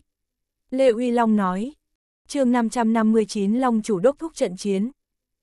Hộ soái bây giờ cuộc đại chiến đang đến gần, anh nên ở lại khu vực chiến đấu để chấn giữ thành, rồi còn chỉ huy các tướng lĩnh điều động binh sĩ, anh định về thành phố Quốc Hòa làm gì? Thiên Thành nói, Quốc Hòa là sẽ nơi đầu tiên quân địch đổ bộ đến, tôi phải đích thân về đó một chuyến để xem xét công sự phòng thủ như thế nào.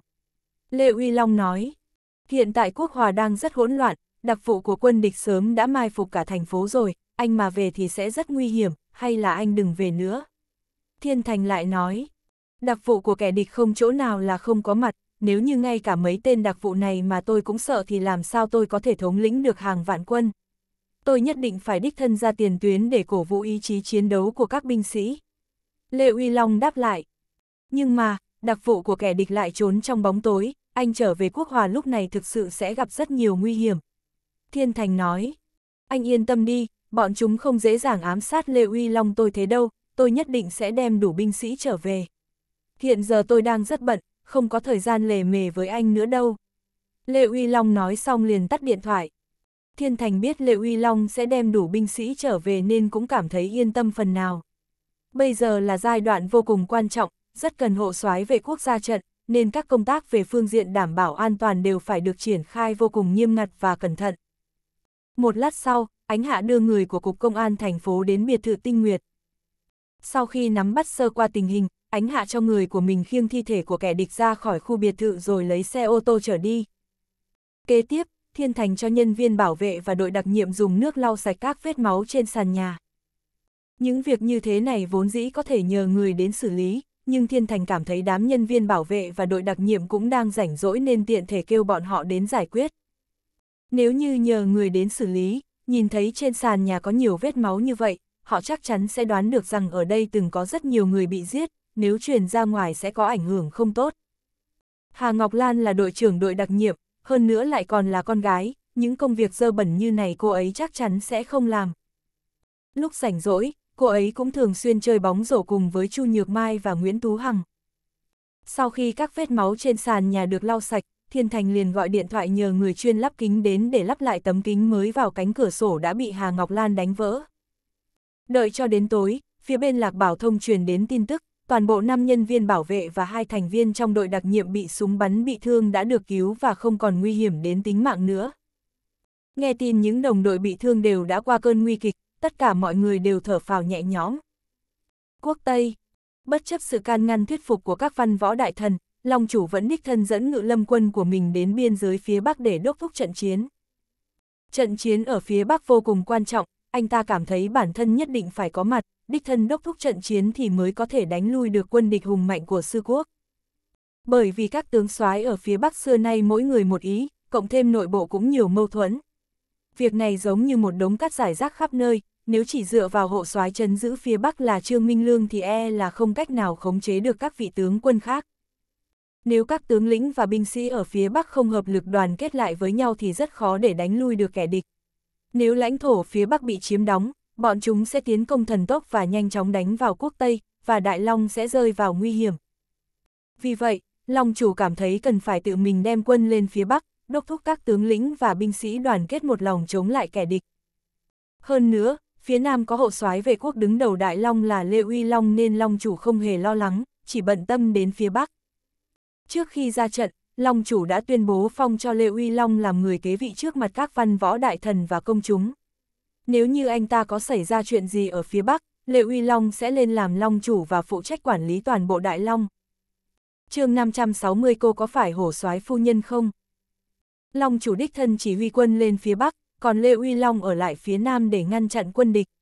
Với tình hình này đành để Lưu Thiên Du là hổ soái chấn trung tạm thời lo liệu việc triều chính, chấn giữ quốc Tây. Biệt thự tinh nguyệt, Chu Nhược Mai, Nguyễn Tú Hằng và Hà Ngọc Lan chơi bóng rổ đã lâu, ai ai cũng ướt đẫm mồ hôi. Sau khi đã thấm mệt và cũng đã chơi thỏa thích, cả ba người liền dừng lại. Hà Ngọc Lan, người cô ra nhiều mồ hôi như thế, chỉ bằng vào biệt thự của tôi tắm rửa cái đã. Chu Nhược Mai nói, không cần đâu, tôi sẽ về khách sạn để tắm rửa. Hà Ngọc Lan thật sự không dám tùy ý tắm ở biệt thự nhà của Lê Uy Long, bởi vì anh ta chính là hổ soái vệ quốc. Về khách sạn làm gì cho phiền phức, bây giờ không phải thường xuyên có kẻ địch đến đánh lén hay sao? Nếu như cô rời đi, bọn chúng đến đánh lén thì tôi phải làm sao? Chu Nhược Mai nói, không phải vẫn còn có thiên thành đang canh gác ở đây đó sao, chị sợ cái gì chứ? Hà Ngọc Lan đáp lại, thực ra, ngoài việc tôi muốn cô ở lại biệt thự tắm rửa ra thì còn muốn tối nay cô ở lại ngủ cùng bọn tôi. Chu Nhược Mai nói, vì sao lại muốn tôi ngủ cùng các chị? Vẻ mặt Hà Ngọc Lan kinh ngạc, cô hỏi. Bởi vì biệt thự có nhiều người chết như vậy, tôi rất sợ. Nguyễn Tú Hằng cậu ấy cũng tương đối nhát gan, sợ người chết, lại không đáng tin, thế nên muốn cô ngủ cùng chúng tôi. Chu Nhược Mai có chút xấu hổ nói. Đúng vậy, quả thực tôi rất nhát gan, tối nay cô ở lại ngủ cùng chúng tôi nhé, nếu không chúng tôi cũng không dám đi ngủ đâu. Nguyễn Tú Hằng cũng nói. Vì sao lại chọn tôi ở lại ngủ cùng các chị? Hà Ngọc Lan lại hỏi. Vì trong đám hộ vệ, ngoài cô là nữ gia thì tất cả bọn họ đều là nam, chúng tôi đương nhiên chỉ có thể chọn cô rồi.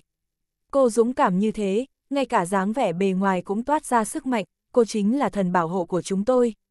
Chu Nhược Mai nói, thôi được rồi, vậy tôi sẽ ở lại ngủ cùng các chị. Hà Ngọc Lan nhìn thấy dáng vẻ sợ hãi của Chu Nhược Mai cũng không tiện từ chối nữa, nên chỉ đành đồng ý. Thế thì thật tốt quá, cảm ơn cô nhé, Ngọc Lan. Chu Nhược Mai vui vẻ nói. Không có gì, đây là việc tôi nên làm. Hà Ngọc Lan nói, hổ soái phu nhân cầu xin, cô nào dám khước từ. Cái gì mà việc cô nên làm chứ, không phải cô nói cô là hổ soái phu nhân sao? Cô có thể từ chối mà. Lúc này, Nguyễn Tú Hằng mới nói. Nếu chị đã nói như vậy thì tôi thực sự phải từ chối rồi. Hà Ngọc Lan nói. Đừng mà, cô không được từ chối. Chu Nhược Mai vội vàng nói. Vậy các chị không được nhắc đến chuyện này nữa. Hà Ngọc Lan nói. Chúng tôi chỉ muốn biết cô rốt cuộc có phải là hổ soái phu nhân không thôi. Chu Nhược Mai nói. Các chị không phải sớm đã biết tôi là kẻ giả mạo rồi sao? Các chị còn hỏi như thế làm tôi thực sự rất xấu hổ. Hà Ngọc Lan hơi đỏ mặt. Cô ấy trước kia thực sự là bất đắc dĩ mới mạo danh làm hổ soái phu nhân, không ngờ rằng cô lại bị thiên thành nhanh chóng phát hiện ra. Cô mạo danh còn chưa được bao lâu đã bị mọi người nhìn thấu, quả thật có chút xấu hổ. Ngọc Lan, nếu như cô đã thừa nhận mình là kẻ giả mạo, vậy cô có thể nói rõ cho tôi biết, ai mới chính là hổ soái phu nhân thực sự được không? Chu Nhược Mai thật nóng lòng muốn biết bản thân có phải là hổ soái phu nhân thật hay không, và Lê Uy Long có thật sự là hổ soái. Tuy rằng trong lòng cô đã nắm chắc 99%, nhưng trước khi có được câu trả lời rõ ràng, cho dù chỉ còn lại 1%, cô cũng không dám vui mừng quá sớm. chương 561 các nước hợp lực tấn công Đại Long. Tôi đã nói tôi bị mất trí nhớ rồi, không nhớ thứ gì cả, các chị đừng hỏi tôi vấn đề này, muốn hỏi thì đi tìm thiên thành ấy. Hà Ngọc Lan nói, cô đừng giả vờ nữa, cô hoàn toàn không hề mất trí nhớ. Chu Nhược Mai nói, sao chị biết tôi không bị mất trí nhớ chứ? Hà Ngọc Lan hỏi, nếu như cô mất trí nhớ thì lúc nãy sao cô lại nhớ được quy tắc khi chơi bóng chứ? Chu Nhược Mai hỏi, tôi, tôi là mất trí nhớ cục bộ chứ không phải hoàn toàn mất hết ký ức, tôi chỉ là không nhớ hổ soái phu nhân là ai thôi, những chuyện khác tôi đều nhớ cả. Hà Ngọc Lan nói, Chu Nhược Mai thấy Hà Ngọc Lan nói thế thì cũng không còn cách nào khác. Lúc Chu Nhược Mai, Nguyễn Tú Hằng và Hà Ngọc Lan đi vào trong biệt thự thì thấy toàn bộ vết máu đã được làm sạch rồi, nền nhà cũng đã được lau khô. Thiên Thành biết chuyện Chu Nhược Mai yêu cầu Hà Ngọc Lan ngủ cùng với họ thì cũng không hề phản đối. Trong lòng anh ấy thật ra cũng rất ủng hộ việc Hà Ngọc Lan ngủ cùng với Chu Nhược Mai và Nguyễn Tú Hằng, có cao thủ như Hà Ngọc Lan ở bên cạnh Chu Nhược Mai thì lỡ như xảy ra chuyện gì đó, cô ấy cũng có thể kịp thời ứng phó. Lúc này trên đại dương bao la minh mông, một lượng lớn chiến hạm, tàu chiến đang hiên ngang và mạnh mẽ tiến về phía bờ biển phía nam của Đại Long. Đây là cảnh tượng hoành tráng chưa bao giờ gặp, những chiến hạm tàu chiến này đều là của liệt ưng quốc và cự hùng quốc. Hai quốc gia hợp sức lại chuẩn bị tấn công phía nam Đại Long. Ngoài ra cử hùng quốc còn âm thầm phái một chiếc tàu chiến khổng lồ đậu ở khu vực biển của khâu dẫn quốc, chuẩn bị hợp sức với khâu dẫn quốc tấn công phía đông Đại Long. Bên liệt ưng quốc cũng âm thầm cử hơn 10 vạn binh lính tinh nhuệ đến lang quốc, chuẩn bị hợp sức với lang quốc tấn công phía tây Đại Long. Cũng có nghĩa là liệt ưng quốc và cử hùng quốc không chỉ tấn công Đại Long từ phía nam mà chia quân ra ba phía, tấn công Đại Long từ phía nam, phía đông và phía tây. Bây giờ sư quốc đã tấn công chốt phòng bị thứ nhất ở phía bắc Đại Long, liệt ưng quốc và cử hùng quốc dự định sẽ hợp sức với khâu dẫn quốc, lang quốc tấn công từ ba hướng đông nam và tây. Tới lúc đó, Đại Long sẽ phải chịu sự tấn công từ bốn phía, chịu được đầu này không lo được đầu kia. Liệt ưng quốc, cự hùng quốc, sư quốc, khâu dẫn quốc, lang quốc đã bí mật bàn bạc từ lâu rồi, chỉ cần tiêu diệt được Đại Long thì họ sẽ phân chia Đại Long. Lúc này ở trụ sở chính của khu vực chiến đấu phía Nam. Báo cáo Tổng đốc, mới nhận được tin tức mới nhất, một phó sĩ quan vội vã chạy vào. Tin tức gì, nói mau, Lê Uy Long hỏi. Nhân viên tình báo của chúng ta mới biết tin liệt ưng quốc và cử hùng quốc chia ra ba nơi, phân biệt tấn công Đại Long chúng ta từ cả ba phía Đông Nam và Tây. Phó sĩ quan nói. Lê Uy Long nghe xong thì trao hết cả mày lại. Nói tiếp đi, nói chi tiết một chút. Lê Uy Long nói. chương 562 anh không thể đến đó. Vâng, cự hùng quốc âm thầm phái một chiến hạm khổng lồ dừng ở khu vực biển của khâu dẫn quốc, dự định sẽ hợp sức với khâu dẫn quốc tấn công vào phía đông Đại Long. Liệt ưng quốc âm thầm điều 10 vạn quân lính tinh nhuệ vào lang quốc chuẩn bị hợp sức với lang quốc tấn công từ phía tây. Liệt ưng quốc và cự hùng quốc sẽ tập hợp binh lính ở một chỗ chuẩn bị tấn công cổng lớn phía nam chúng ta, bây giờ họ đã khởi hành rồi, đang hướng về phía khu vực biển phía nam của chúng ta và từ từ tiến đến gần.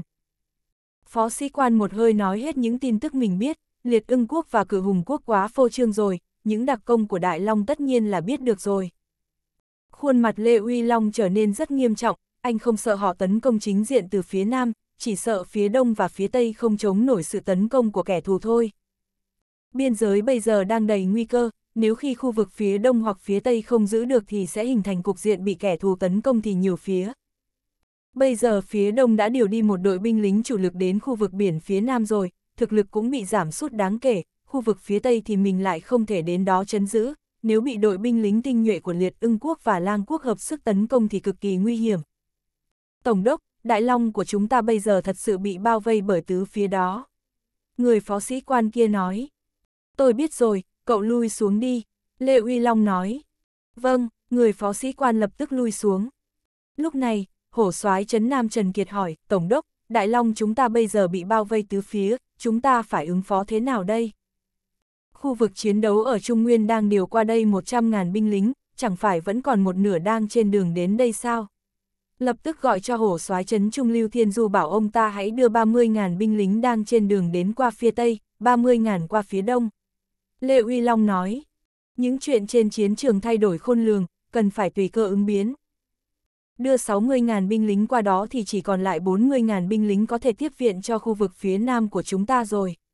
Khu vực phía nam của chúng ta phải đối diện với quân chủ lực của kẻ địch, tới lúc đó e là sẽ rất khó khăn đấy. Trần Kiệt nói, khu vực phía nam của chúng ta vốn có không ít binh lính, bây giờ có thêm 40.000 quân cứu viện thì đủ rồi, nếu như khu vực phía đông hoặc phía tây bị công phá thì Đại Long sẽ ở trong thế bị động. Lê Uy Long nói, đúng vậy, để chắc chắn hơn, chúng ta có thể bảo hổ soái trấn Trung Lưu Thiên Du điều thêm binh lính từ khu vực chiến đấu ở Trung Nguyên đến cứu viện thêm. Trần Kiệt nói, không được, khu vực chiến đấu Trung Nguyên là trung tâm của Đại Long chúng ta, phụ trách sự an toàn của quốc Tây, bây giờ Long chủ lại đi đến phía Bắc chứ không có ở quốc Tây, quốc Tây vốn dĩ đã trống vắng rồi, không thể điều thêm binh lính nữa. Lê Uy Long nói, được, vậy thì cứ làm thêm những gì anh nói. Trần Kiệt lập tức truyền đạt mệnh lệnh của Lê Uy Long cho Lưu Thiên Du, bảo ông ta hãy điều 30.000 binh lính đang trên đường đi đến phía Tây, 30.000 sẽ đến phía Đông. Mặc dù Lưu Thiên Du là hổ soái trấn Trung, trấn giữ quốc Tây và các vùng ngoại ô, nhưng Lê Uy Long là hổ soái trấn quốc số 1 của Đại Long, và lại tổng đốc của trận chiến lần này do đích thân Long chủ ra lệnh nên ông ta phải nghe theo mệnh lệnh của Lê Uy Long. Nhận được mệnh lệnh của Lê Uy Long, Lưu Thiên Du ra lệnh cho trăm ngàn binh lính đang đi trên đường rút 30 ngàn quân đến phía Tây, rút thêm 30 ngàn đến phía Đông. Hổ soái chân giữ phía Tây Giang Trấn Vũ và tham mưu Lưu Bảo Kim biết chuyện liệt ưng quốc hợp sức với lang quốc chuẩn bị tấn công phía Tây bèn làm công tác chuẩn bị để ứng chiến. Hổ soái phía Đông Dương Tuấn Vũ nghe tin cự hùng quốc hợp sức với khâu dẫn quốc chuẩn bị tấn công phía Đông cũng chuẩn bị công tác ứng chiến. Đợi sau khi Trần Kiệt truyền đạt mệnh lệnh xong xuôi thì Lê Uy Long mới nói, trận chiến sắp diễn ra rồi, ngày mai tôi sẽ đích thân thống lĩnh binh lính ở Quốc Hòa. Trần Kiệt nghe xong bèn kinh ngạc khuyên nhủ, Tổng đốc, Quốc Hòa là thành phố đầu tiên chịu sự tấn công của kẻ thù đó, nguy hiểm lắm, anh không thể đến đó. chương 563 tôi muốn ngủ một mình. Long chủ có thể đích thân đến biên giới phía Bắc để giám sát đôn thúc tác chiến. Tôi là hổ soái vệ quốc, tại sao lại không thể đích thân đến tiền tuyến? Lê Uy Long nói, nhưng hiện tại chúng ta đang phải đối mặt với kẻ địch, tôi thấy anh nên ở lại trận địa, điều quân, triển khai chiến lược tác chiến, điều đấy mới là quan trọng. Trần Kiệt nói, cho dù tôi đến thành phố Quốc Hòa thì tôi cũng có thể mọi lúc mọi nơi hạ mệnh lệnh, điều quân, triển khai chiến lược tác chiến. Sắp bắt đầu rồi, tôi không đích thân đến tiền tuyến, tôi không yên tâm. Lê Uy Long nói, vậy thì ngày mai tôi cùng anh đi đến thành phố Quốc Hòa. Trần Kiệt nói, không được, anh không thể đi, anh phải ở lại đây. Lê Uy Long nói, đến anh còn có thể đi, tại sao tôi không thể? Trần Kiệt nói, chúng ta không thể cả hai hổ soái cùng đi như thế được, nhất định phải có một người ở lại trận địa. Vậy nên, một mình tôi đi là được rồi. Lê Uy Long nói, nếu cả hai hổ soái phải giữ lại một người thì không bằng để tôi đi thành phố Quốc Hòa kiểm tra, anh ở lại trận địa đi.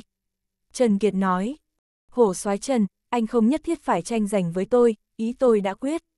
Ngày mai tôi sẽ đi thành phố Quốc Hòa, anh ở lại trận địa, cứ như thế quyết định đi. Lê Uy Long nói, được, vậy anh chú ý cẩn thận.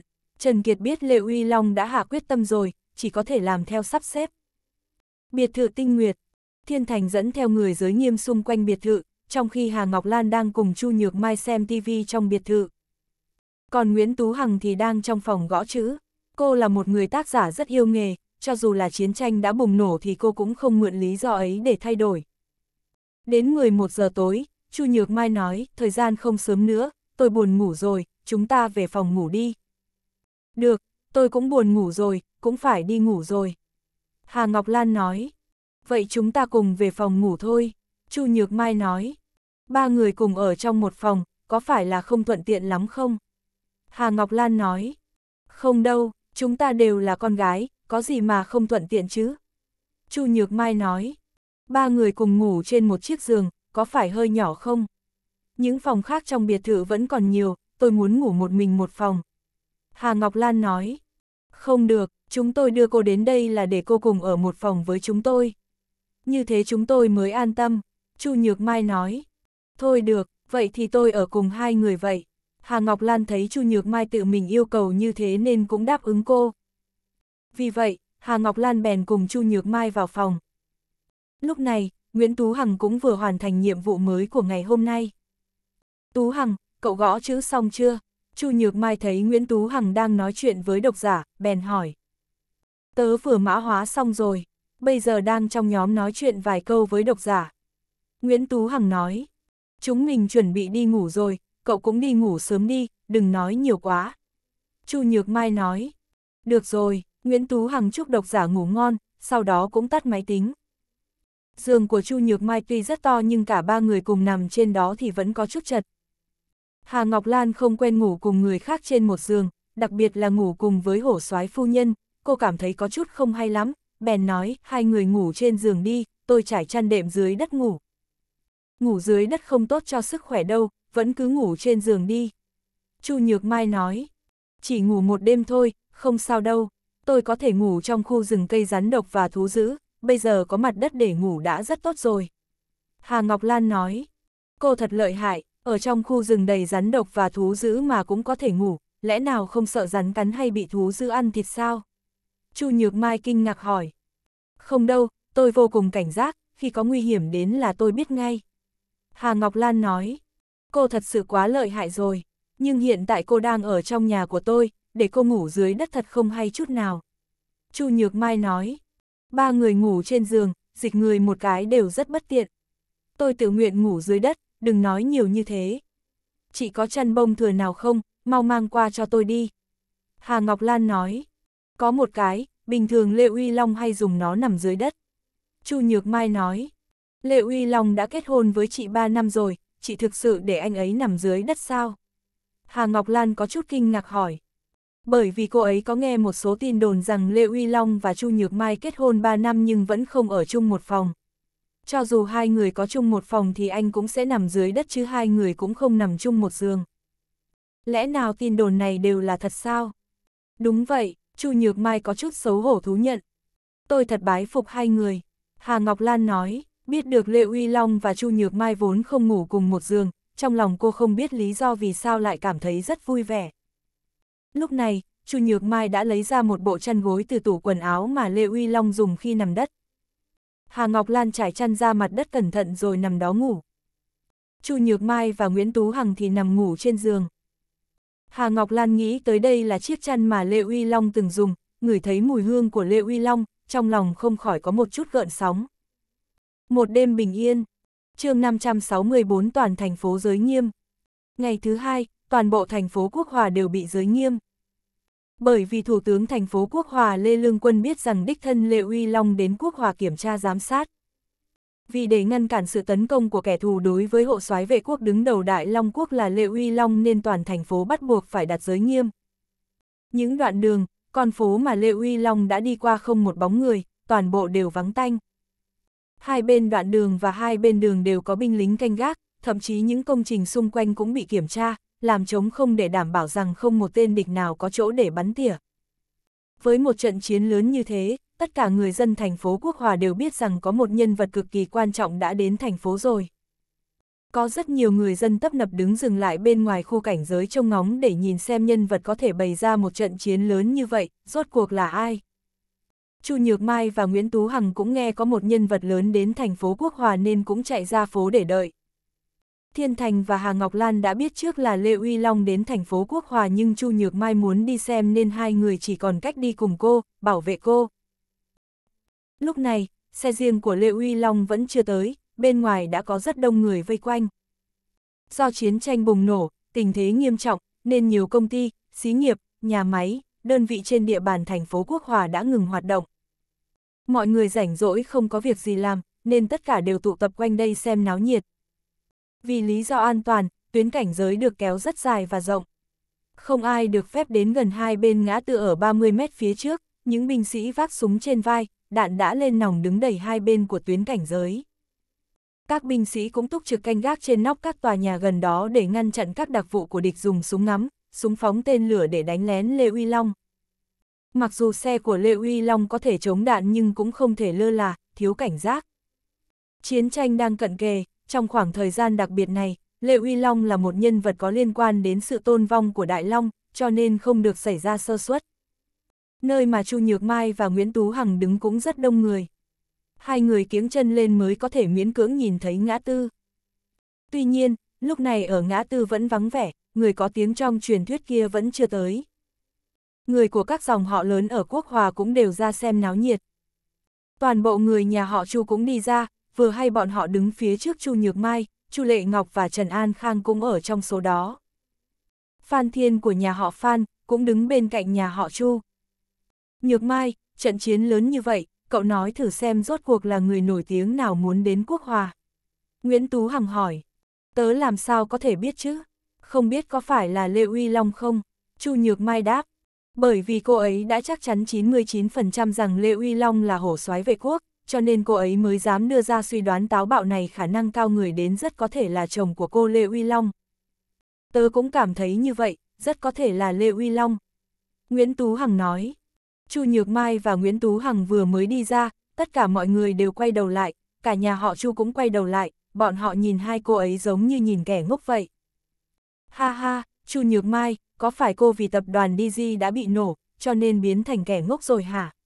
Chu Lệ Ngọc nói, vì Chu Nhược Mai đã cắt đứt quan hệ với gia đình cho nên bây giờ cô ta gọi hẳn tên, không cần phải gọi là chị gái nữa. Chu Lệ Ngọc, cô nói chuyện tôn trọng người khác chút đi, tôi vẫn là rất bình thường, làm sao có thể biến thành kẻ ngốc chứ? Chu Nhược Mai trả lời. Nếu mà cô không ngốc, làm sao có thể cho rằng người có tiếng sắp đến quốc hòa là chồng của cô chứ? Chu Lệ Ngọc đáp, đúng vậy, gặp qua người vô liêm sỉ chứ chưa gặp qua người mặt dày như cô, vậy mà lại dám tưởng tượng chồng mình là người có tiếng sắp đến. Mẹ của Chu Lệ Ngọc là Thúy Họa nói một cách khinh bỉ. Chu Nhược Mai, cô có thể có liêm sỉ một chút được không? Nếu như Lê Uy Long thực sự là người tay to mặt lớn, vậy thì tôi chính là Long chủ rồi. Trần An Khang khinh thường đáp. Chu Nhược Mai bị mọi người chế giễu, không kiềm được cảm xúc, khuôn mặt cô dần dần đỏ lên. Bởi vì cô cũng không dám chắc Lê Uy Long là người có tiếng kia. Vừa nãy cô với Nguyễn Tú Hằng cũng chỉ là suy đoán thôi không ngờ rằng lại bị nhiều người như vậy nghe được. Mặc dù cô đã xác định được cơ bản Lê Uy Long chính là hổ soái vệ quốc, nhưng cũng chưa chắc nhân vật đến quốc hòa chính là Lê Uy Long. Bởi vì chưa dám chắc chắn là Lê Uy Long đến, cho nên cô không đủ tự tin. Có phải là Lê Uy Long hay không, đợi một lát nữa là sẽ biết ngay thôi, ồn ào cái gì. Nguyễn Tú Hằng thấy Chu Nhược Mai bị sỉ nhục, liền giúp cô giải vây. Không cần phải đợi, chắc chắn không phải là Lê Uy Long, các cô đang nghĩ gì vậy hả? Trần An Khang nói, tôi cảm thấy khả năng cao là Lê Uy Long, ngoài anh ấy ra không ai có thể bày ra trận lớn thế này. Nguyễn Tú Hằng khẳng định. Phụt ha ha, Nguyễn Tú Hằng, cô có phải là viết tiểu thuyết đến ngốc rồi không, có phải là bị mắc chứng ảo tưởng quá rồi không? Lúc này, Phan Thiên cũng không nhịn được mà bật cười. Nguyễn Tú Hằng là một tác giả tiểu thuyết có tiếng trên mạng, rất nhiều người đều biết đến tiểu thuyết cô viết, cả Phan Thiên cũng biết. Thật là gần đèn thì sáng, gần mực thì đen. Nguyễn Tú Hằng, một mình cô mắc bệnh ảo tưởng thì thôi đi, sao lại còn lây cho Nhược Mai vậy? Tôi cực kỳ thắc mắc rằng có phải cô dạy hư Nhược Mai không, làm cho nó cũng mắc bệnh ảo tưởng giống cô. Tô Ánh Tuyết chế diếu. Đúng là một câu chuyện cười mà, đến cả cái tên vô dụng như Lê Uy Long cũng gọi là nhân vật lớn, lẽ nào Đại Long ta toàn là người vô dụng thôi sao? Bà Chu cũng khinh thường mà nói. Các người đừng có nói sớm như thế, nếu như lát nữa thực sự là Lê Uy Long thì để tôi xem các người sẽ mất mặt như thế nào. Chu Nhược Mai thấy Nguyễn Tú Hằng cũng bị mỉa mai liền đứng ra nói giúp cô. Hai người đúng là trời sinh một cặp để làm bạn thân mà, đều là kẻ ngu ngốc không có thuốc chữa. Chu Nhược Mai, cô đừng có tưởng Lê Uy Long làm cho cô một hôn lễ hoành tráng ở Quốc Hòa thì anh ta chính là người có tiếng, hôn lễ đó đều do Vũ Hải người ta làm cho đó. Kẻ vô dụng thì chính là kẻ vô dụng, hai cô đừng có nằm mơ giữa ban ngày nữa. Nếu thật sự là Lê Uy Long, thì tôi còn là Long chủ đây, ha ha. Chu Nhược Mai, cô đi theo Lê Uy Long lâu như vậy rồi, xem ra là đã học được kỹ năng diễn xuất của anh ta rồi. Trong tình cảnh này cô còn có thể diễn được, tôi cũng phục cô luôn rồi đấy. Cô diễn giỏi như vậy, lát nữa sẽ không sợ bị mất mặt sao? Đợi lát nữa người mất mặt không phải là chúng tôi, mà là hai cô đó. Người nhà Chu, Trần An Khang và Phan Thiên, cùng với những người hóng chuyện bên cạnh đều đang mỉa mai Chu Nhược Mai và Nguyễn Tú Hằng.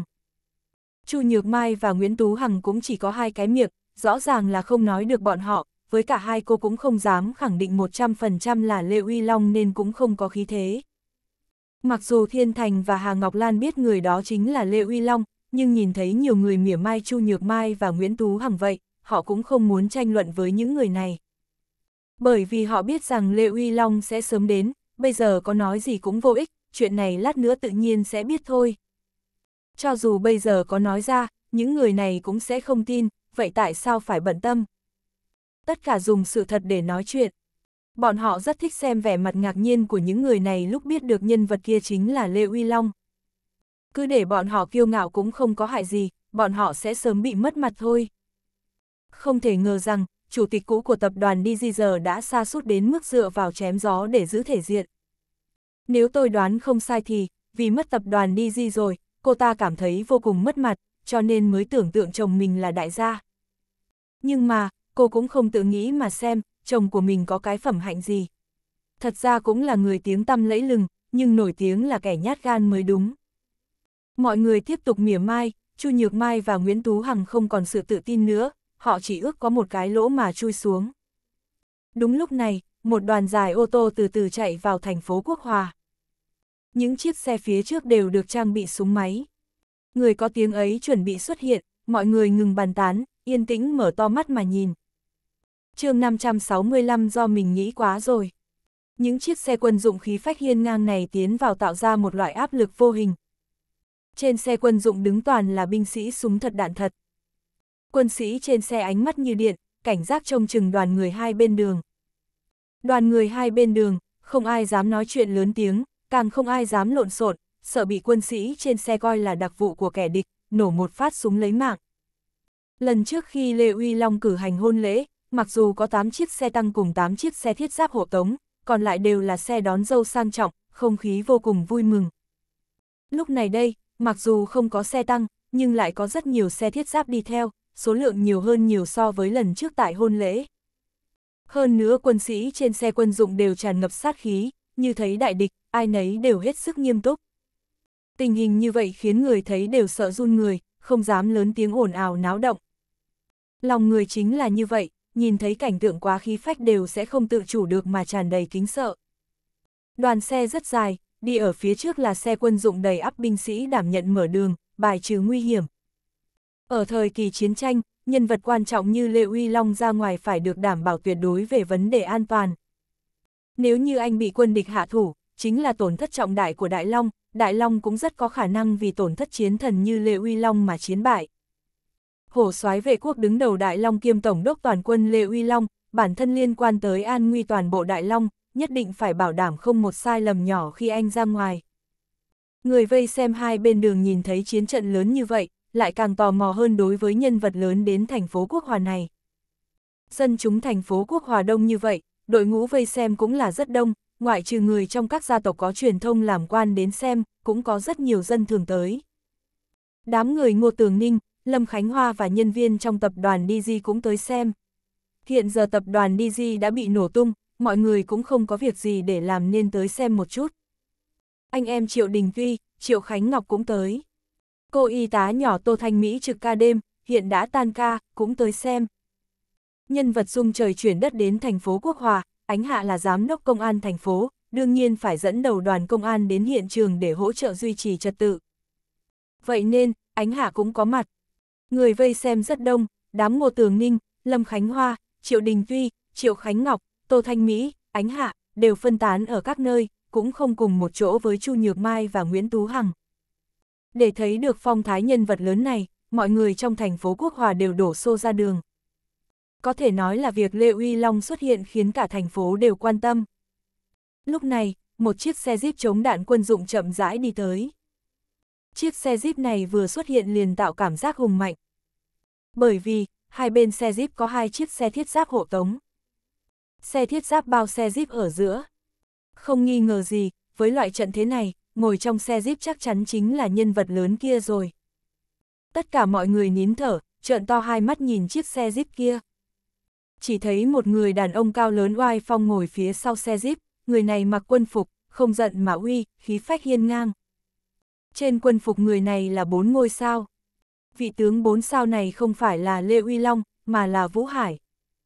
Hôm qua Vũ Hải đã theo lệnh rút về, đại chiến đã chính thức bắt đầu, ông ta là tướng bốn sao hết sức quan trọng, đương nhiên sẽ không mạo hiểm ở lại trên chiến hạm. Ông ta phải trở lại chấn giữ khu vực chiến đấu phía Nam, phụ trách an bài chiến lược cho thành phố Quốc Hòa. Khu vực chiến đấu phía Nam ở bên ngoài thành phố Quốc Hòa, Vũ Hải được tin hổ soái vệ quốc đứng đầu Đại Long Lê Uy Long muốn tự mình đi đến thành phố Quốc Hòa đôn đốc, đương nhiên ông ta phải thân trinh đi cùng Lê Uy Long. Bởi vì, Vũ Hải là sĩ quan tối cao của thành phố Quốc Hòa, Lê Uy Long tự mình đến đôn đốc, ông ta sao có thể không đi cùng được. Nếu như phòng ngự của thành phố Quốc Hòa có vấn đề, kẻ đầu tiên bị hỏi tội chính là Vũ Hải. Vũ Hải là tướng 4 sao, lại là sĩ quan tối cao thành phố Quốc Hòa, an toàn của ông ta cũng là cực kỳ trọng yếu, ông ta ngồi xe jeep, đương nhiên cũng có xe thiết giáp hộ tống hai bên. Thế nhưng, người vây xem cũng không biết nhân vật trọng yếu hơn còn ở phía sau, nhìn thấy Vũ Hải ra mặt, bọn họ đều cho rằng Vũ Hải chính là nhân vật lớn lần này đến thành phố Quốc Hòa. Bởi vì, tướng 4 sao cũng đã là vị tướng cao cấp ít thấy của Đại Long rồi. Hóa ra là tướng 4 sao Vũ Hải đến thành phố Quốc Hòa, thảo nào đội hình lớn như vậy. Đúng thế, hiện tại chiến tranh đã bùng phát, tướng 4 sao ra ngoài đương nhiên phải phòng vệ thật nghiêm mật rồi. Đáng ra chúng ta phải sớm nghĩ đến là chỉ huy Hải đến thành phố Quốc Hòa chứ, ngoại trừ chỉ huy Hải thì còn ai có thể bày ra đội hình lớn như vậy. Đúng thế, đều tại chúng ta quá đần, ngay cả cái này cũng không nghĩ đến, ngồi đây ngớ ngẩn đoán xem nhân vật lớn kia là ai. Mọi người bắt đầu ồn ào nghị luận, đều cảm thấy Vũ Hải chính là nhân vật lớn lần này đến thành phố Quốc Hòa đôn đốc. Chu Nhược Mai, tôi muốn hỏi cô một chút, cảm giác bị vả vào mặt thế nào? Mặt cô có đau không? Chu Lệ Ngọc thấy nhân vật lớn đến thành phố Quốc Hòa là Vũ Hải, lập tức lại bắt đầu châm chọc Chu Nhược Mai. Ha ha, vừa rồi thế mà có người dám nói nhân vật lớn đến thành phố Quốc Hòa là chồng của mình, thực sự là quá không biết xấu hổ. Trần An Khang cũng bắt đầu trào phúng. Chu Nhược Mai, cô thật sự là kỳ quá, lại dám coi cái kẻ bất lực Lê Uy Long kia là nhân vật lớn như Vũ Hải, tôi thật phục suy nghĩ của cô đấy. Thúy Hòa cũng nhân cơ hội trào phúng. Một kẻ nổi tiếng là phế vật, lại dám coi thành nhân vật lớn hết sức quan trọng của Đại Long, đúng là nằm mơ giữa ban ngày, vỗ mặt thế này là kêu vang trời rồi. Bởi vì không có được Chu Nhược Mai, nên giờ đây Phan Thiên đối với cô là vì yêu sinh hận, nên cũng bắt đầu châm chọc. Chu Nhược Mai, cô đừng quên, cô đã đoạn tuyệt quan hệ với nhà họ Chu rồi, giờ tập đoàn DG của cô cũng không còn, cô nhất định không nên nghĩ đến nhà họ Chu nhé. Ở bên ngoài, cô nhớ kỹ đừng nói cô là người nhà họ Chu, nhà họ Chu chúng tôi gánh nổi sự mất mặt như vậy đâu, nhà họ Chu chúng tôi không có loại cháu gái bất hiếu ngu xuẩn như cô. Bà Chu thấy người ra mặt không phải Lê Uy Long, lập tức phân rõ ranh giới với Chu Nhược Mai. Nhược Mai, rốt cuộc cô nghĩ gì thế? Có phải não cô ngập nước rồi không, mà sao lại coi Lê Uy Long là nhân vật lớn thế kia? Tuy chúng ta đã sớm đoạn tuyệt quan hệ mẹ con, nhưng tôi vẫn sợ người ta biết chúng ta từng là mẹ con, cô nhất định không được nói là biết tôi đấy. Ngay cả Tô Ánh Tuyết cũng bắt đầu châm chọc Chu Nhược Mai. Vì Tô Ánh Tuyết không phải mẹ đẻ của Chu Nhược Mai, hơn nữa Chu Nhược Mai và Lê Uy Long nhiều lần khiến cô ta chịu nhục nên cô ta đã sớm hận Chu Nhược Mai và Lê Uy Long tới thấu xương. Lần trước khi cô ta tới tập đoàn DG đàm phán tăng giá cho nhà họ Chu, Chu Nhược Mai cũng không màng chút tình cảm nào. Mà Lê Uy Long thậm chí suýt chút nữa giết cô ta trước mộ bố anh. Hiện tại hiếm có cơ hội châm chọc Chu Nhược Mai một lần, đương nhiên cô ta sẽ không bỏ qua. Chu Nhược Mai bị mọi người châm chọc, lúc này cực kỳ khó chịu, khuôn mặt lúc đỏ, lúc trắng, không chỗ nào tránh được. Bản thân cô cũng thấy có lẽ mình đã nghĩ quá rồi. Cô thậm chí bắt đầu nghi ngờ, suy đoán của mình có lẽ sai lầm rồi. Lệ Uy Long rõ ràng không phải là hổ soái vệ quốc gì, mà là tự mình có ý nghĩ kỳ quái rồi. chương 566 cậu ta có coi em là mẹ vợ không? Nguyễn Tú Hằng thấy Chu Nhược Mai bị chế giễu nhưng cũng không có cách nào giúp đỡ cô. Bởi vì người xuất hiện không phải là Lê Uy Long, cô ấy cũng như tự vả vào mặt mình, nói gì cũng đều vô dụng, chỉ có thể im lặng mà chịu đựng. Mà Thiên Thành, Hà Ngọc Lan và những thành viên của đội đặc nhiệm cùng với những người hộ vệ đều cứ thế lặng im. Nhiệm vụ của họ là bảo vệ sự an toàn cho Chu Nhược Mai chứ không phải đến đây để cãi nhau. Thiên Thành bọn họ đều biết rằng, sau khi Vũ Hải xuất hiện thì Lê Uy Long cũng sẽ rất nhanh lập tức cùng xuất hiện nên không cần phải vội vàng đứng ra bênh vực cho Chu Nhược Mai. Bởi vì những người đến trước đều không phải là nhân vật quan trọng. Lệ Uy Long là hổ soái vệ quốc đứng đầu Đại Long, tất nhiên sẽ xuất hiện cuối cùng. Những kẻ buông lời chế giễu lúc này sẽ lập tức bị vả miệng. Chu Hòa nhìn thấy con gái bị mọi người chế giễu, cũng lực bất tòng tâm, thương mà không giúp được gì. Ông cũng cảm thấy suy nghĩ của con gái mình thật viển vông, tuy ông biết Lệ Uy Long có một chút bản lĩnh nhưng làm sao có thể là nhân vật lớn như Vũ Hải chứ. Chẳng qua nhìn thấy Tô Ánh Tuyết mỉa mai con gái của mình, Chu Hòa nhìn không vừa mắt, nhịn không nổi mà nói, Ánh Tuyết, Nhược Mai dù nói gì thì cũng đã từng là con gái của em, sao em lại đi chế giễu con bé thế? Chu Hòa, anh cũng không phải không biết, Chu Nhược Mai rõ ràng không phải con gái ruột của em. Hơn nữa, em và nó cũng đã sớm đoạn tuyệt quan hệ rồi, tại sao em lại không thể chế giễu nó chứ, vì sao phải khách khí với nó chứ? Tô Ánh Tuyết tức giận nói. Lúc trước cô ta còn có chút sợ Chu Nhược Mai vì Chu Nhược Mai là chủ tịch của tập đoàn DG. Bây giờ, tập đoàn Niji cũng đã không còn nữa rồi, cô cũng chẳng cần phải khách sáo với Chu Nhược Mai làm gì nữa. Em nói cái gì vậy? Chu Hòa ngay lập tức tức giận khi thấy Tô Ánh Tuyết công khai nói ra chuyện Chu Nhược Mai không phải con gái ruột của mình. Thân thế của Chu Nhược Mai vẫn luôn là một bí mật, chỉ có thế hệ lớn tuổi nhà họ Chu mới biết được thân thế của cô, người ngoài cũng không một ai biết hết. Nhà họ Chu vẫn luôn bảo vệ bí mật này, từ trước đến nay đều không hề nói ra. Nhưng bây giờ Tô Ánh Tuyết lại ở trước mặt mọi người đem chuyện Chu Nhược Mai không phải con gái ruột của mình nói ra, bảo Chu Hòa không tức giận làm sao được. Em không nói nhảm, Lê Uy Long là đồ khốn nạn. Lần trước cậu ta suýt chút nữa giết chết em trước mộ của bố cậu ta, cậu ta có coi em là mẹ vợ của cậu ta không? Tô Ánh Tuyết lần trước thoát chết trước mộ Dương Văn Đoàn rồi trốn thoát, bảo toàn được tính mạng nên khi quay trở về nhà họ Chu, không dám hé lộ ra một câu nào. Vừa nãy vì do quá tức giận nên đã kể hết chuyện ấy ra. Sau đó, Tô Ánh Tuyết lại tức giận nói, lúc đó, cậu ta bắt em nói ra thân phận của Chu Nhược Mai, em cũng đã nói với cậu ta rồi, là Chu Nhược Mai không phải con gái ruột của em. Lệ Uy Long đã biết chuyện này rồi, nhất định sẽ có một ngày cậu ta nói với vợ cậu ta Chu Nhược Mai, vậy thì em còn phải giấu giếm làm gì? Tô Ánh Tuyết nói một mạch hết câu chuyện. Người nhà họ Chu và tất cả mọi người xung quanh sau khi nghe Tô Ánh Tuyết nói chuyện đó ra, toàn bộ đều rất kinh ngạc. Người nhà họ Chu càng ngạc nhiên khi không ngờ rằng Lê Uy Long đã suýt giết chết Tô Ánh Tuyết. Mà những người ở đấy cũng đều kinh ngạc vì biết rằng Chu Nhược Mai không phải con gái ruột của Tô Ánh Tuyết. Tô Ánh Tuyết nói không sai, Lệ Uy Long đã sớm nói rõ ràng chuyện này cho Chu Nhược Mai rồi thế nên khi chính tai cô nghe thấy Tô Ánh Tuyết nói ra mình không phải con gái ruột của cô ta, cô cũng chẳng thấy kinh ngạc gì cả. Cô chỉ không ngờ rằng, Tô Ánh Tuyết lại kể chuyện này công khai cho mọi người biết. Ánh Tuyết, tại sao lê Uy Long lại suýt giết con? Bà Chu sau khi biết lê Uy Long suýt chút nữa đã giết Tô Ánh Tuyết thì không khỏi tức giận. Là bởi vì, bởi vì, Tô Ánh Tuyết bỗng dưng bị hỏi như vậy, nhất thời không biết nên trả lời ra làm sao. Nguyên nhân Lê Uy Long muốn giết chết cô ta là bởi vì cô ta đã đuổi bố nuôi Dương Văn Đoàn của Lê Uy Long ra khỏi biệt thự và gián tiếp hại chết Dương Văn Đoàn. Đối với chuyện này, bản thân vốn đã bị đối lý thì làm sao có thể nói ra trước mặt mọi người đây. Con mau nói đi, rốt cuộc tại sao tên vô dụng Lê Uy Long này lại muốn giết con? Bà Chu tiếp tục truy hỏi. Mẹ, mẹ đừng hỏi nữa, con không dám nói, nếu con nói ra, lê Uy Long sẽ lại còn muốn giết con mất. Tô Ánh Tuyết không biết phải làm sao nói ra chuyện này nên chỉ có thể trả lời lại như thế. Mọi người nghe thấy Tô Ánh Tuyết nói như thế liền bắt đầu sôi nổi thảo luận, bàn tán. Tên Lê Uy Long này đúng thật là độc ác, đến mẹ vợ của mình mà cũng muốn giết. Đúng thế, đây là giết mẹ đấy. Cái tên Lê Uy Long này đúng là đại nghịch bất đạo. Không ngờ rằng trên đời này vẫn còn loại người phát rồ, mất trí đến mẹ vợ mình mà cũng muốn giết những người không biết sự thật đều đứng hết về phía của Tô Ánh Tuyết và ra sức mắng chửi Lê Uy Long. Tô Ánh Tuyết, cô quá đáng quá rồi. Một là không nói, còn nếu nói thì nói cho rõ ràng ra. Tôi muốn Lê Uy Long giết cô, nguyên nhân tất cả là vì cậu ấy biết được rằng chính cô đã đuổi bố của cậu ấy ra khỏi biệt thự, gián tiếp hại chết bố cậu ấy, không phải sao.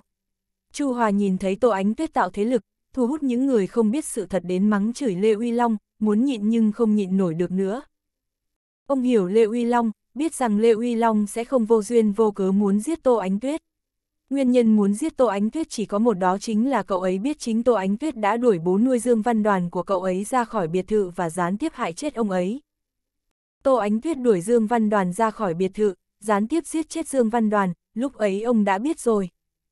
Tuy rằng bình thường ông ấy sợ vợ, nhưng đứng trước chuyện chính nghĩa, phải trái đúng sai rõ ràng này, ông ấy không thể bảo vệ Tô Ánh Tuyết nữa. Tất cả mọi người nghe thấy Chu Hòa nói như thế xong đều rất choáng váng. Bọn họ trước đấy đều không biết rằng Tô Ánh Tuyết đã từng đuổi bố nuôi của Lê Uy Long ra khỏi biệt thự, Dương Văn Đoàn là bị Tô Ánh Tuyết gián tiếp hại chết. Chu Hòa, anh đang nói nhảm cái gì vậy? Có phải anh bị điên rồi không? Sao anh có thể vụ oan cho tôi?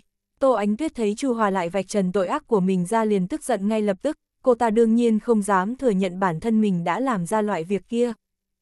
Tôi không nói nhảm, tự cô làm ra việc gì, chẳng lẽ cô lại không biết sao? Chu Hòa nói, giữa ông ấy và Tô Ánh Tuyết vốn không có tình cảm gì. Người ở trong lòng ông ấy mãi mãi là mẹ của Chu Nhược Mai, Giang Mộng Vận. Hiện tại, đã vạch mặt Tô Ánh Tuyết rồi nên ông ấy cũng không khách sáo nữa. Bản thân ông ấy cũng là cậu chủ nhà họ Chu, chẳng lẽ lại mặc kệ Tô Ánh Tuyết gây náo loạn dư luận ngay trước mặt mình sao? Chu Hòa, hôm nay anh uống lộn thuốc hả? Sao anh dám mắng tôi? có phải là trong lòng anh vẫn còn hình bóng ả Giang Mộng Vận đê tiện kia không? Tô Ánh Tuyết bắt đầu khóc lóc om sòm. Chu Nhược Mai biết người tên Giang Mộng Vận mà Tô Ánh Tuyết nói chính là mẹ ruột của mình. Tô Ánh Tuyết, cô nói năng cho hẳn hoi, ai cho phép cô chửi mẹ tôi? Mặc dù Chu Nhược Mai chưa từng nhìn thấy mẹ ruột của mình, nhưng khi nghe Tô Ánh Tuyết chửi mẹ ruột mình là đồ đê tiện, cô vẫn cảm thấy rất tức giận. Mọi người nghe Chu Nhược Mai nói vẫn, đều chắc chắn rằng cô thật sự không phải là con ruột của Tô Ánh Tuyết. chương 567 sỉ nhục đất nước. Chu Nhược Mai, tôi cứ chửi mẹ cô là đồ đê tiện đấy, cô làm gì được tôi. Tô Ánh Tuyết khiêu khích. Chu Nhược Mai nổi đoá, cô thật sự muốn tát cho Tô Ánh Tuyết một cái, nhưng lại nghĩ đến Tô Ánh Tuyết từng là mẹ nuôi của mình, nếu bây giờ mình ở trước đám đông đánh cô ta thì chắc chắn sẽ không hợp tình đạo lý, lại còn biến thành kẻ bất hiếu, trở thành đối tượng bị đả kích. Vì vậy giờ phút này cô chỉ có thể nhẫn nhịn. Cô một lần nữa cảm thấy tuyệt vọng đối với Tô Ánh Tuyết và người nhà họ Chu. Những người nhà họ Chu này ngoại trừ bố ruột của cô là Chu Hòa Gia thì toàn bộ đều là loại sáng nắng chiều mưa, dậu đổ bìm leo, đã không thể cứu chữa nổi nữa. Cô đã quyết định rồi, mặc kệ Lê Uy Long có phải là hổ soái vệ quốc hay không, cả đời này cô sẽ đi theo anh ấy mãi mãi. Bởi vì chỉ có Lê Uy Long mới thật sự yêu mình. Cho dù anh chỉ là một kẻ nhu nhược thì cũng sẽ hết lòng bảo vệ chăm sóc mình. Đương nhiên cô cũng vẫn ôm một chút hoang tưởng với Lê Uy Long, hy vọng anh thật sự là hổ soái vệ quốc. Có người phụ nữ nào không mong chồng mình là anh hùng cái thế chứ? Người xung quanh nghe thấy cuộc đối thoại của Tô Ánh Tuyết và Chu Nhược Mai thì lại bắt đầu bàn luận. Hóa ra cô cả nhà họ Chu lại không phải là con gái ruột của Tô Ánh Tuyết. Đây đúng là tin tức giật gân mà. Nếu không phải đánh trận thì cái tin này chắc chắn sẽ trở thành hot search đấy.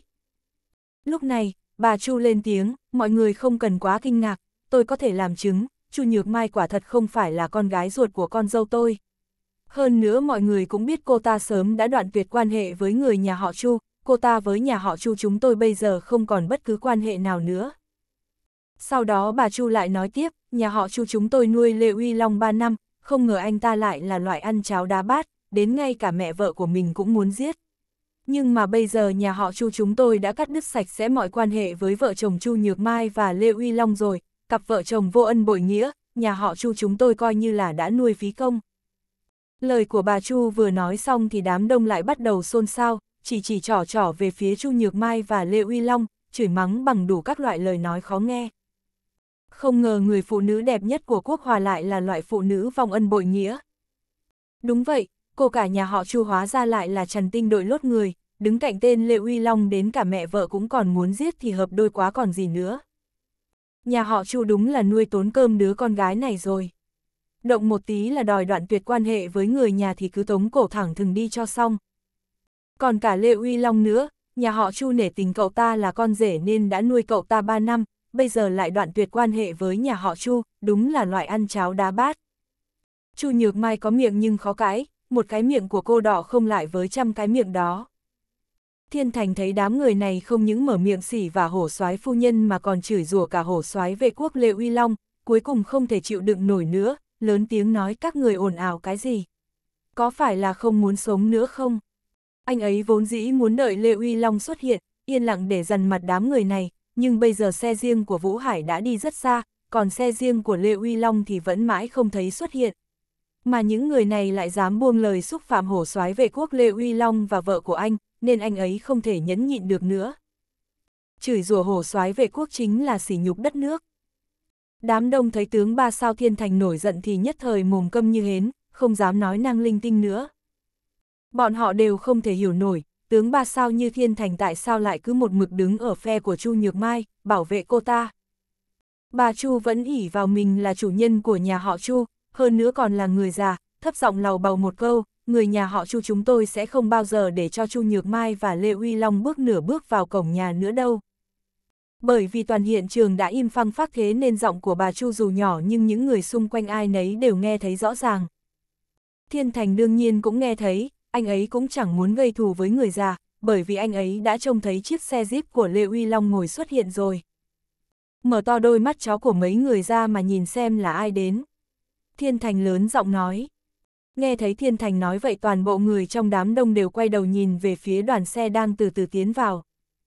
Trông thấy một chiếc xe Jeep ngang ngược tiến vào, trái phải hai bên đều có ba chiếc xe bảo vệ, trước sau có thêm hai chiếc xe bọc thép áp sát.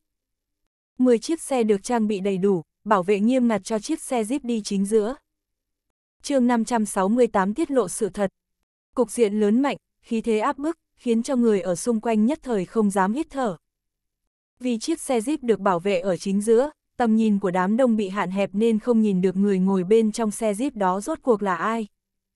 Xe riêng của Lê Uy Long vốn dĩ đã là chiếc xe chống đạn, nhưng vì để phòng bị kẻ địch sử dụng đạn xuyên giáp thế nên trước sau đều sử dụng xe bọc thép để bảo hộ. Lê Uy Long vốn dĩ có thể lựa chọn ngồi trong xe bọc thép, nhưng anh cảm thấy bản thân dù sao cũng là hổ soái vệ quốc đứng đầu Đại Long, nếu ở trước lúc trận chiến chưa được bắt đầu mà đã giống như con rùa rụt cổ trốn trong xe bọc thép thì đúng là khiến cho binh sĩ mất hết tinh thần chiến đấu. Vì vậy anh đã lựa chọn ngồi trong chiếc xe Jeep này. Hơn nữa tối qua Thiên Thành đã báo cáo với anh rằng Chu Nhược Mai đã đoán ra được anh chính là hổ soái vệ quốc. Thế nên anh cũng không có dự định tiếp tục giấu giếm thân phận của mình nữa. Anh đã quyết định sẽ tuyên bố thân phận của mình trước công chúng, vậy nên cũng chẳng sợ hãi người dân của quốc hòa biết được điều này. Anh cũng đoán được rằng có lẽ Chu Nhược Mai cũng có mặt ở trong đám đông kia, anh cũng muốn Chu Nhược Mai tận mắt chứng kiến trận thế xuất hiện của mình. Chỉ có để cho Chu Nhược Mai tận mắt chứng kiến phong thái của mình thì đợi tới lúc anh nói với cô rằng anh chính là hổ soái vệ quốc thì khi ấy cô mới tin đó là sự thật, sẽ không còn cho rằng bản thân đang bốc phét nữa. Đủ loại nguyên do khiến Lê Uy Long quyết định ngồi trên chiếc xe Jeep đi đến quốc hòa giám sát. Đám đông vì bị trái phải trước sau một hàng xe bọc thép chặn mất tầm nhìn nên không nhìn được người ngồi trong xe Jeep, bắt đầu bàn luận trở lại. Hóa ra người đang tiến vào bây giờ mới thật sự là nhân vật lớn đến quốc hòa giám sát. Đúng đấy, lúc nãy chúng ta đều tưởng rằng Vũ Hải mới là tướng sĩ cấp cao đến quốc hòa giám sát, không ngờ đằng sau vẫn còn lợi hại hơn nữa. Lúc nãy Vũ Hải xuất hiện chỉ có 4 chiếc xe bọc thép ở trái phải mà thôi, chứng tỏ không phải là tướng sĩ cấp cao đến quốc hòa làm giám sát lần này. Đúng, bây giờ người đang tiến vào này trước sau phải trái tổng cộng có đến 10 chiếc xe bọc thép áp sát, trận thế này mạnh mẽ hơn Vũ Hải nhiều, người này chắc chắn là nhân vật lớn trong truyền thuyết rồi. Không sai, nhân vật lớn thật sự đều xuất hiện sau cùng mà. Nhưng mà Vũ Hải đã là tướng sĩ cấp cao của quốc hòa rồi, lẽ nào còn có cấp bậc cao hơn với cấp bậc của Vũ Hải ư? Nhân vật lớn này rốt cuộc là ai thế? Bây giờ anh ta ngồi trong xe Jeep, xung quanh được xe bọc thép bao vây, nhìn cũng nhìn không ra, đúng là điên hết cả người. Đừng cuống lên thế, mở to mắt ra nhìn, đừng có chớp mắt là sẽ nhìn thấy được thôi. Nghe đám đông bình luận, Chu Nhược Mai và Nguyễn Tú Hằng cũng cảm thấy tò mò không biết nhân vật xuất hiện ở đây là ai. Trong lòng hai người đều hy vọng là Lê Uy Long, nhưng đều không dám nói ra miệng. Ngộ nhỡ không phải là Lê Uy Long thì chắc chắn sẽ lại bị đám đông cười nhạo một phen. Vì đã có vết xe đổ lúc trước nên bọn họ không dám tùy tiện lên tiếng nữa, tránh bị hỏa vào thân. Lúc này chiếc xe Jeep ngày càng gần hơn, đám đông đã có thể thông qua khoảng cách giữa xe bọc thép để nhìn thấy người ngồi trong xe Jeep rồi. Chỉ nhìn thấy ở ghế sau của xe Jeep có một người đàn ông đang ngồi với nét mặt nghiêm nghị, cao lớn và uy vũ. Người đàn ông này cũng mặc quân phục, khắp người lộ ra một khí thế bá đạo nhìn đời với nửa con mắt, so với Vũ Hải càng khiến cho người ta khiếp sợ. Tới khi đám đông nhìn rõ tướng mạo của người đàn ông anh Tuấn phi phàm này thì tất cả mọi người đều kinh ngạc. Bởi vì người đàn ông này không phải là ai khác mà chính là con rể của nhà họ Chu hiện giờ, kẻ nhu nhược có tiếng tăm lừng lẫy Lê Uy Long. Nhìn thấy cảnh này, Chu Nhược Mai, Nguyễn Tú Hằng, người nhà họ Chu và toàn bộ đám đông đang quan sát đều hết sức kinh hoàng. chương 569 sao có thể là Lê Uy Long được chứ? Không ai ngờ được rằng, Lê Uy Long kẻ được mệnh danh là tên nhu nhược nhất quốc hòa vậy mà lại là tướng năm sao. Tướng năm sao ở Đại Long đã là cấp bậc quân hàm cao nhất. Chu Nhược Mai và Nguyễn Tú Hằng sớm đã chuẩn bị tâm lý, bởi vì bọn họ đều biết Lê Uy Long có khả năng là hổ soái vệ quốc, nhưng đến khi nhìn thấy tận mắt Lê Uy Long mặc quân phục xuất hiện thì hai người bọn họ vẫn không khỏi kinh ngạc. Lúc nãy bị đám đông mỉa mai, hơn nữa Lê Uy Long còn xuất hiện muộn nên bọn họ chẳng ôm chút hoang tưởng nào nữa, không ngờ cuối cùng anh cũng đã xuất hiện. Tướng 5 sao cũng chỉ cao hơn tướng 4 sao một sao mà thôi, thế nhưng địa vị lại khác hoàn toàn, thậm chí có thể nói là khác biệt một trời một vực. Toàn bộ Đại Long, từ ngoài nhìn vào đã chẳng có tướng 5 sao nữa. Lệ Uy Long được trao tặng tướng 5 sao này đều là được cử hành trong bí mật, không hề tuyên bố với bên ngoài. Vì vậy bên ngoài không biết được Đại Long còn có một tướng 5 sao tên là Lê Uy Long. Nhưng bởi vì là bí mật nên toàn bộ người dân của Đại Long không biết Lê Uy Long là tướng năm sao duy nhất, hơn nữa còn càng không biết anh là hổ soái vệ quốc đứng đầu của Đại Long. Dưới một người mà trên vạn người. Việc tại sao Lê Uy Long được trao tặng quân hàm cao như vậy thì người bên ngoài càng không thể biết được. Lê Uy Long có thể được trao tặng cấp bậc cao như vậy cũng có rất nhiều nguyên do. Năm ấy Lê Uy Long Nam Trinh Bắc Chiến, lập được vô số chiến công, bảo vệ được một nửa giang sơn của Đại Long, 6 năm trước đã dựa vào binh lực ít ỏi thu phục được đất đai bị mất ở phía Tây, đuổi hết quân địch của Đại Long ra khỏi phía Tây. Lệ Uy Long không những đuổi địch bên ngoài, bảo vệ Giang Sơn Đại Long, mà còn từng một mình dẹp yên cuộc nổi loạn. Năm năm trước, Đại Long đột nhiên xảy ra nổi loạn, Long chủ bị bọn phản bội bắt giữ. Cuộc nội chiến sắp sửa bùng nổ, Long chủ bí mật viết một bức thư máu, phái người thân cận đưa đến phía Tây, cầu cứu Lê Uy Long. Lệ Uy Long nhận được bức thư máu của Long chủ thì vội vã cưỡi ngựa từ phía Tây đến Đại Long, ngàn dặm cứu chủ. Anh xuất binh, đánh bại bọn phản loạn, giết chết tên thủ lĩnh của đám phản tặc. Thủ lĩnh của đám phản tặc bị giết chết, Lệ Uy Long thắng lợi dễ dàng, dẹp yên được cuộc nổi loạn, cứu được Long chủ, ngăn ngừa được nội chiến với quy mô to lớn. Nếu không phải Lệ Uy Long ngàn dặm cứu chủ, một đao giết chết thủ lĩnh, cứu thoát được Long chủ, Đại Long như rắn mất đầu nhất định sẽ chia năm xẻ bảy, chư hầu các nơi vì tranh ngôi mà xảy ra ra cuộc hỗn chiến quy mô rộng lớn. Nếu là như thế thật thì toàn bộ Đại Long sẽ máu chảy thành sông, sinh linh đổ thán, dân chúng lầm than. Lệ Uy Long chỉ dựa vào một đội kỵ binh mà đã có thể dẹp được cuộc nổi loạn, cứu thoát được Long chủ, dập tắt tình trạng nổi loạn đang còn nhen nhóm, tránh được cục diện Đại Long tan đàn xẻ nghé. Vì thế Long chủ quyết định trao tặng tướng năm sao, hơn nữa còn phong anh thành hổ soái vệ quốc đứng đầu của Đại Long. Bởi vì Long chủ đã gặp phải chuyện như vậy, nên sợ sẽ tổn hại đến thể diện, vì vậy không công bố với bên ngoài để tránh ảnh hưởng tới uy nghiêm của Long chủ. Mà Lê Uy Long được sắc phong cũng là bí mật tiến hành. Nếu không, người dân của Đại Long không rõ chân tướng trông thấy Lê Uy Long đột nhiên được trao tặng tướng năm sao nhất định sẽ bàn luận dị nghị, sẽ không phục. Không nói lan man nữa, ngay giờ phút này những chiếc xe bọc thép lại chặn mất chiếc xe Jeep mà Lê Uy Long đang ngồi. Người ngồi trên chiếc xe Jeep lúc nãy là Lê Uy Long ư. Chu Lệ Ngọc kinh ngạc hỏi, bởi vì lúc nãy cô ta chỉ nhìn được thoáng qua Lê Uy Long thì đã bị xe bọc thép chắn mất tầm nhìn, nên không dám khẳng định. Tôi nhìn thì đoán chắc là Lê Uy Long đấy, Trần An Khang nói. Sao có thể là Lê Uy Long được chứ? Từ lúc nào Lê Uy Long có được khí thế như thế này? Tô Ánh Tuyết không dám tin người ngồi trên xe Jeep lúc nãy là đứa con rể nhu nhược trước kia của mình Lê Uy Long.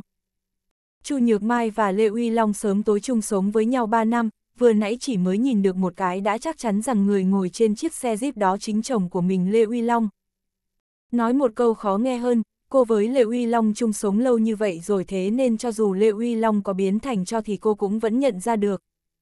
Huống hồ khí thế ngang ngược nhìn đời bằng nửa con mắt đó của Lê Uy Long cô đã sớm được chiêm ngưỡng rồi, chẳng có gì đáng ngạc nhiên đến mức đó.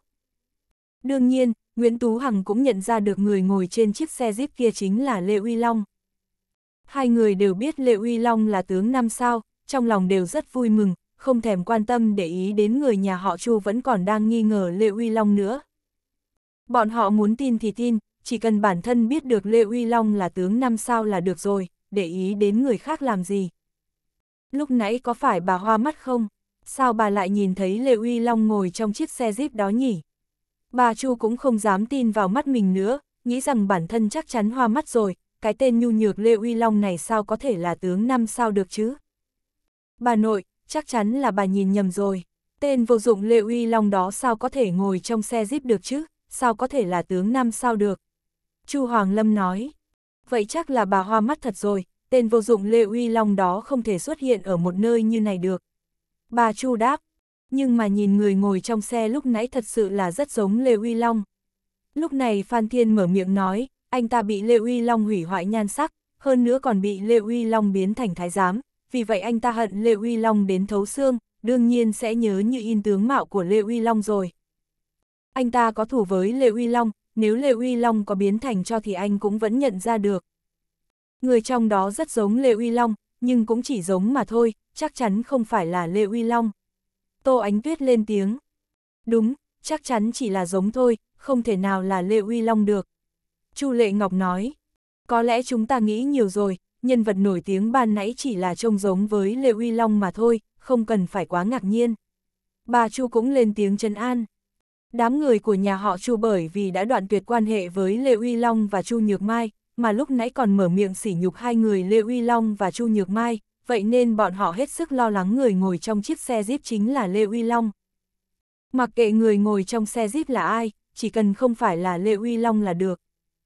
Mà ngay lúc này, đoàn xe trước mặt đã từ từ dừng lại, hộ vệ trên xe cũng đã nhảy xuống khỏi xe, xếp thành hai hàng thật dài ở bên đường. Xe Jeep mà Vũ Hải ngồi đã dừng lại từ lâu, ở bên cạnh cung kính chờ đợi đoàn xe của Lê Uy Long đi đến. Đội tiên phong đi đầu chống địch của Quốc Hòa, tướng ba sao phụ trách phòng ngự Quốc Hòa Lê Lương Quân đã chỉ huy đám đông đứng gọn ở một bên chờ đợi Lê Uy Long xuất hiện. Không lâu sau, xe jeep của Lê Uy Long cũng đã tiến đến gần, từ từ dừng lại. Sau đó, Vũ Hải tự mình bước lên trên, mở cửa xe cho Lê Uy Long. Nhìn thấy ngay cả tướng 4 sao Vũ Hải cũng phải đích thân mở cửa xe cho nhân vật tầm cỡ này thì tất cả mọi người đều trầm trồ kinh ngạc. Tất cả mọi người đang vây quanh hiện trường ban nãy bị chắn mất tầm nhìn nên không nhìn rõ được người ngồi trong xe là ai, bấy giờ toàn bộ ánh mắt đều dồn cả lên trên chiếc xe Jeep, muốn được chứng kiến tận mắt phong thái của nhân vật to lớn này, xem xem anh ấy rốt cuộc là ai. Bấy giờ, xe Jeep mà Lê Uy Long ngồi đã thực sự đã trở thành tiêu điểm của hàng vạn người dân quốc hòa. Theo cánh cửa xe được mở ra, một đôi chân thon dài mặc quân phục thò ra khỏi bên ngoài. Sau đó, một người đàn ông với khí thế ngang ngược từ trong xe chậm rãi bước ra ngoài. Người ở hiện trường nhìn rõ tướng mạo của người đàn ông xong thì đều chết lặng. Bởi vì người đàn ông này chính là con rể tiếng tăm lẫy lừng của nhà họ Chu Lê Uy Long, cưới được người phụ nữ đẹp nhất quốc hòa. Người nhà họ Chu cùng với Trần An Khang, Phan Thiên đợi tới lúc người bước xuống xe, không ngờ lại chính là Lê Uy Long thì nhất thời ngây người ra như phóng, run lên lẩy bẩy. Cùng với sự xuất hiện của Lê Uy Long, toàn bộ thành phố Quốc Hòa đều kinh hãi hoảng sợ.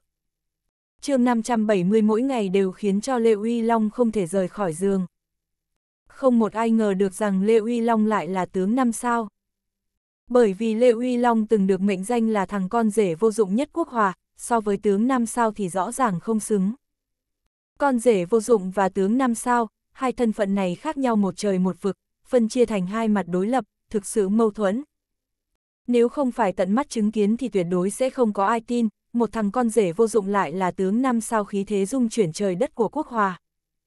Ngô Tường Ninh, Triệu Đình Duy, Triệu Khánh Ngọc, Tô Thanh Mỹ, Lâm Khánh Hoa và nhân viên của tập đoàn DG trông thấy Lê Uy Long là tướng năm sao thì cũng bị chấn động đến đỉnh điểm.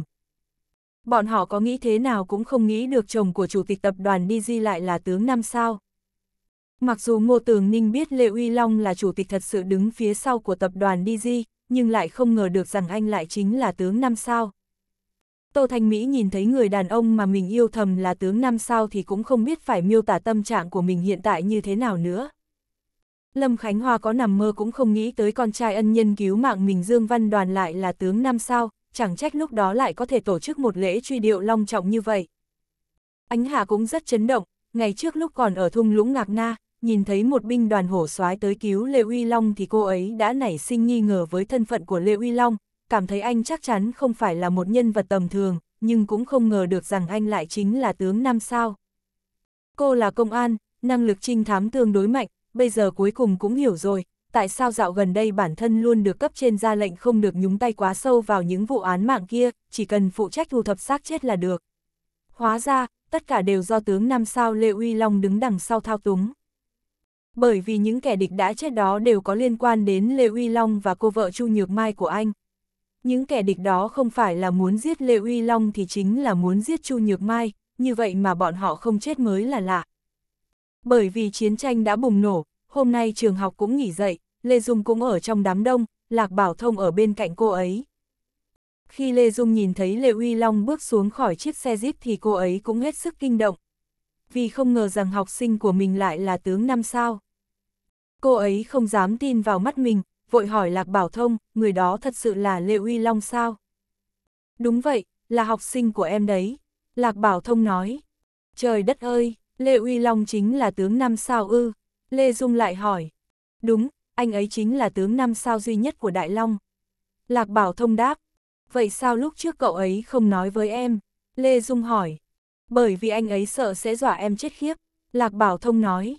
Lê Dung cũng không biết phải miêu tả cảm xúc của mình lúc này ra sao, bản thân vậy mà lại có một học sinh là tướng năm sao, mà bản thân thì chẳng hay biết gì, chẳng trách lần này khôi phục lại vị trí giáo sư lại thuận lợi như vậy. Mấy vị lão làng trong giới chính trị của quốc hòa khi biết Lê Uy Long là tướng năm sao thì cũng cực kỳ sang chấn. Bọn họ đều không ngờ rằng dưới sự cai quản của bản thân lại có một vị tướng năm sao ẩn nấp khéo léo như vậy.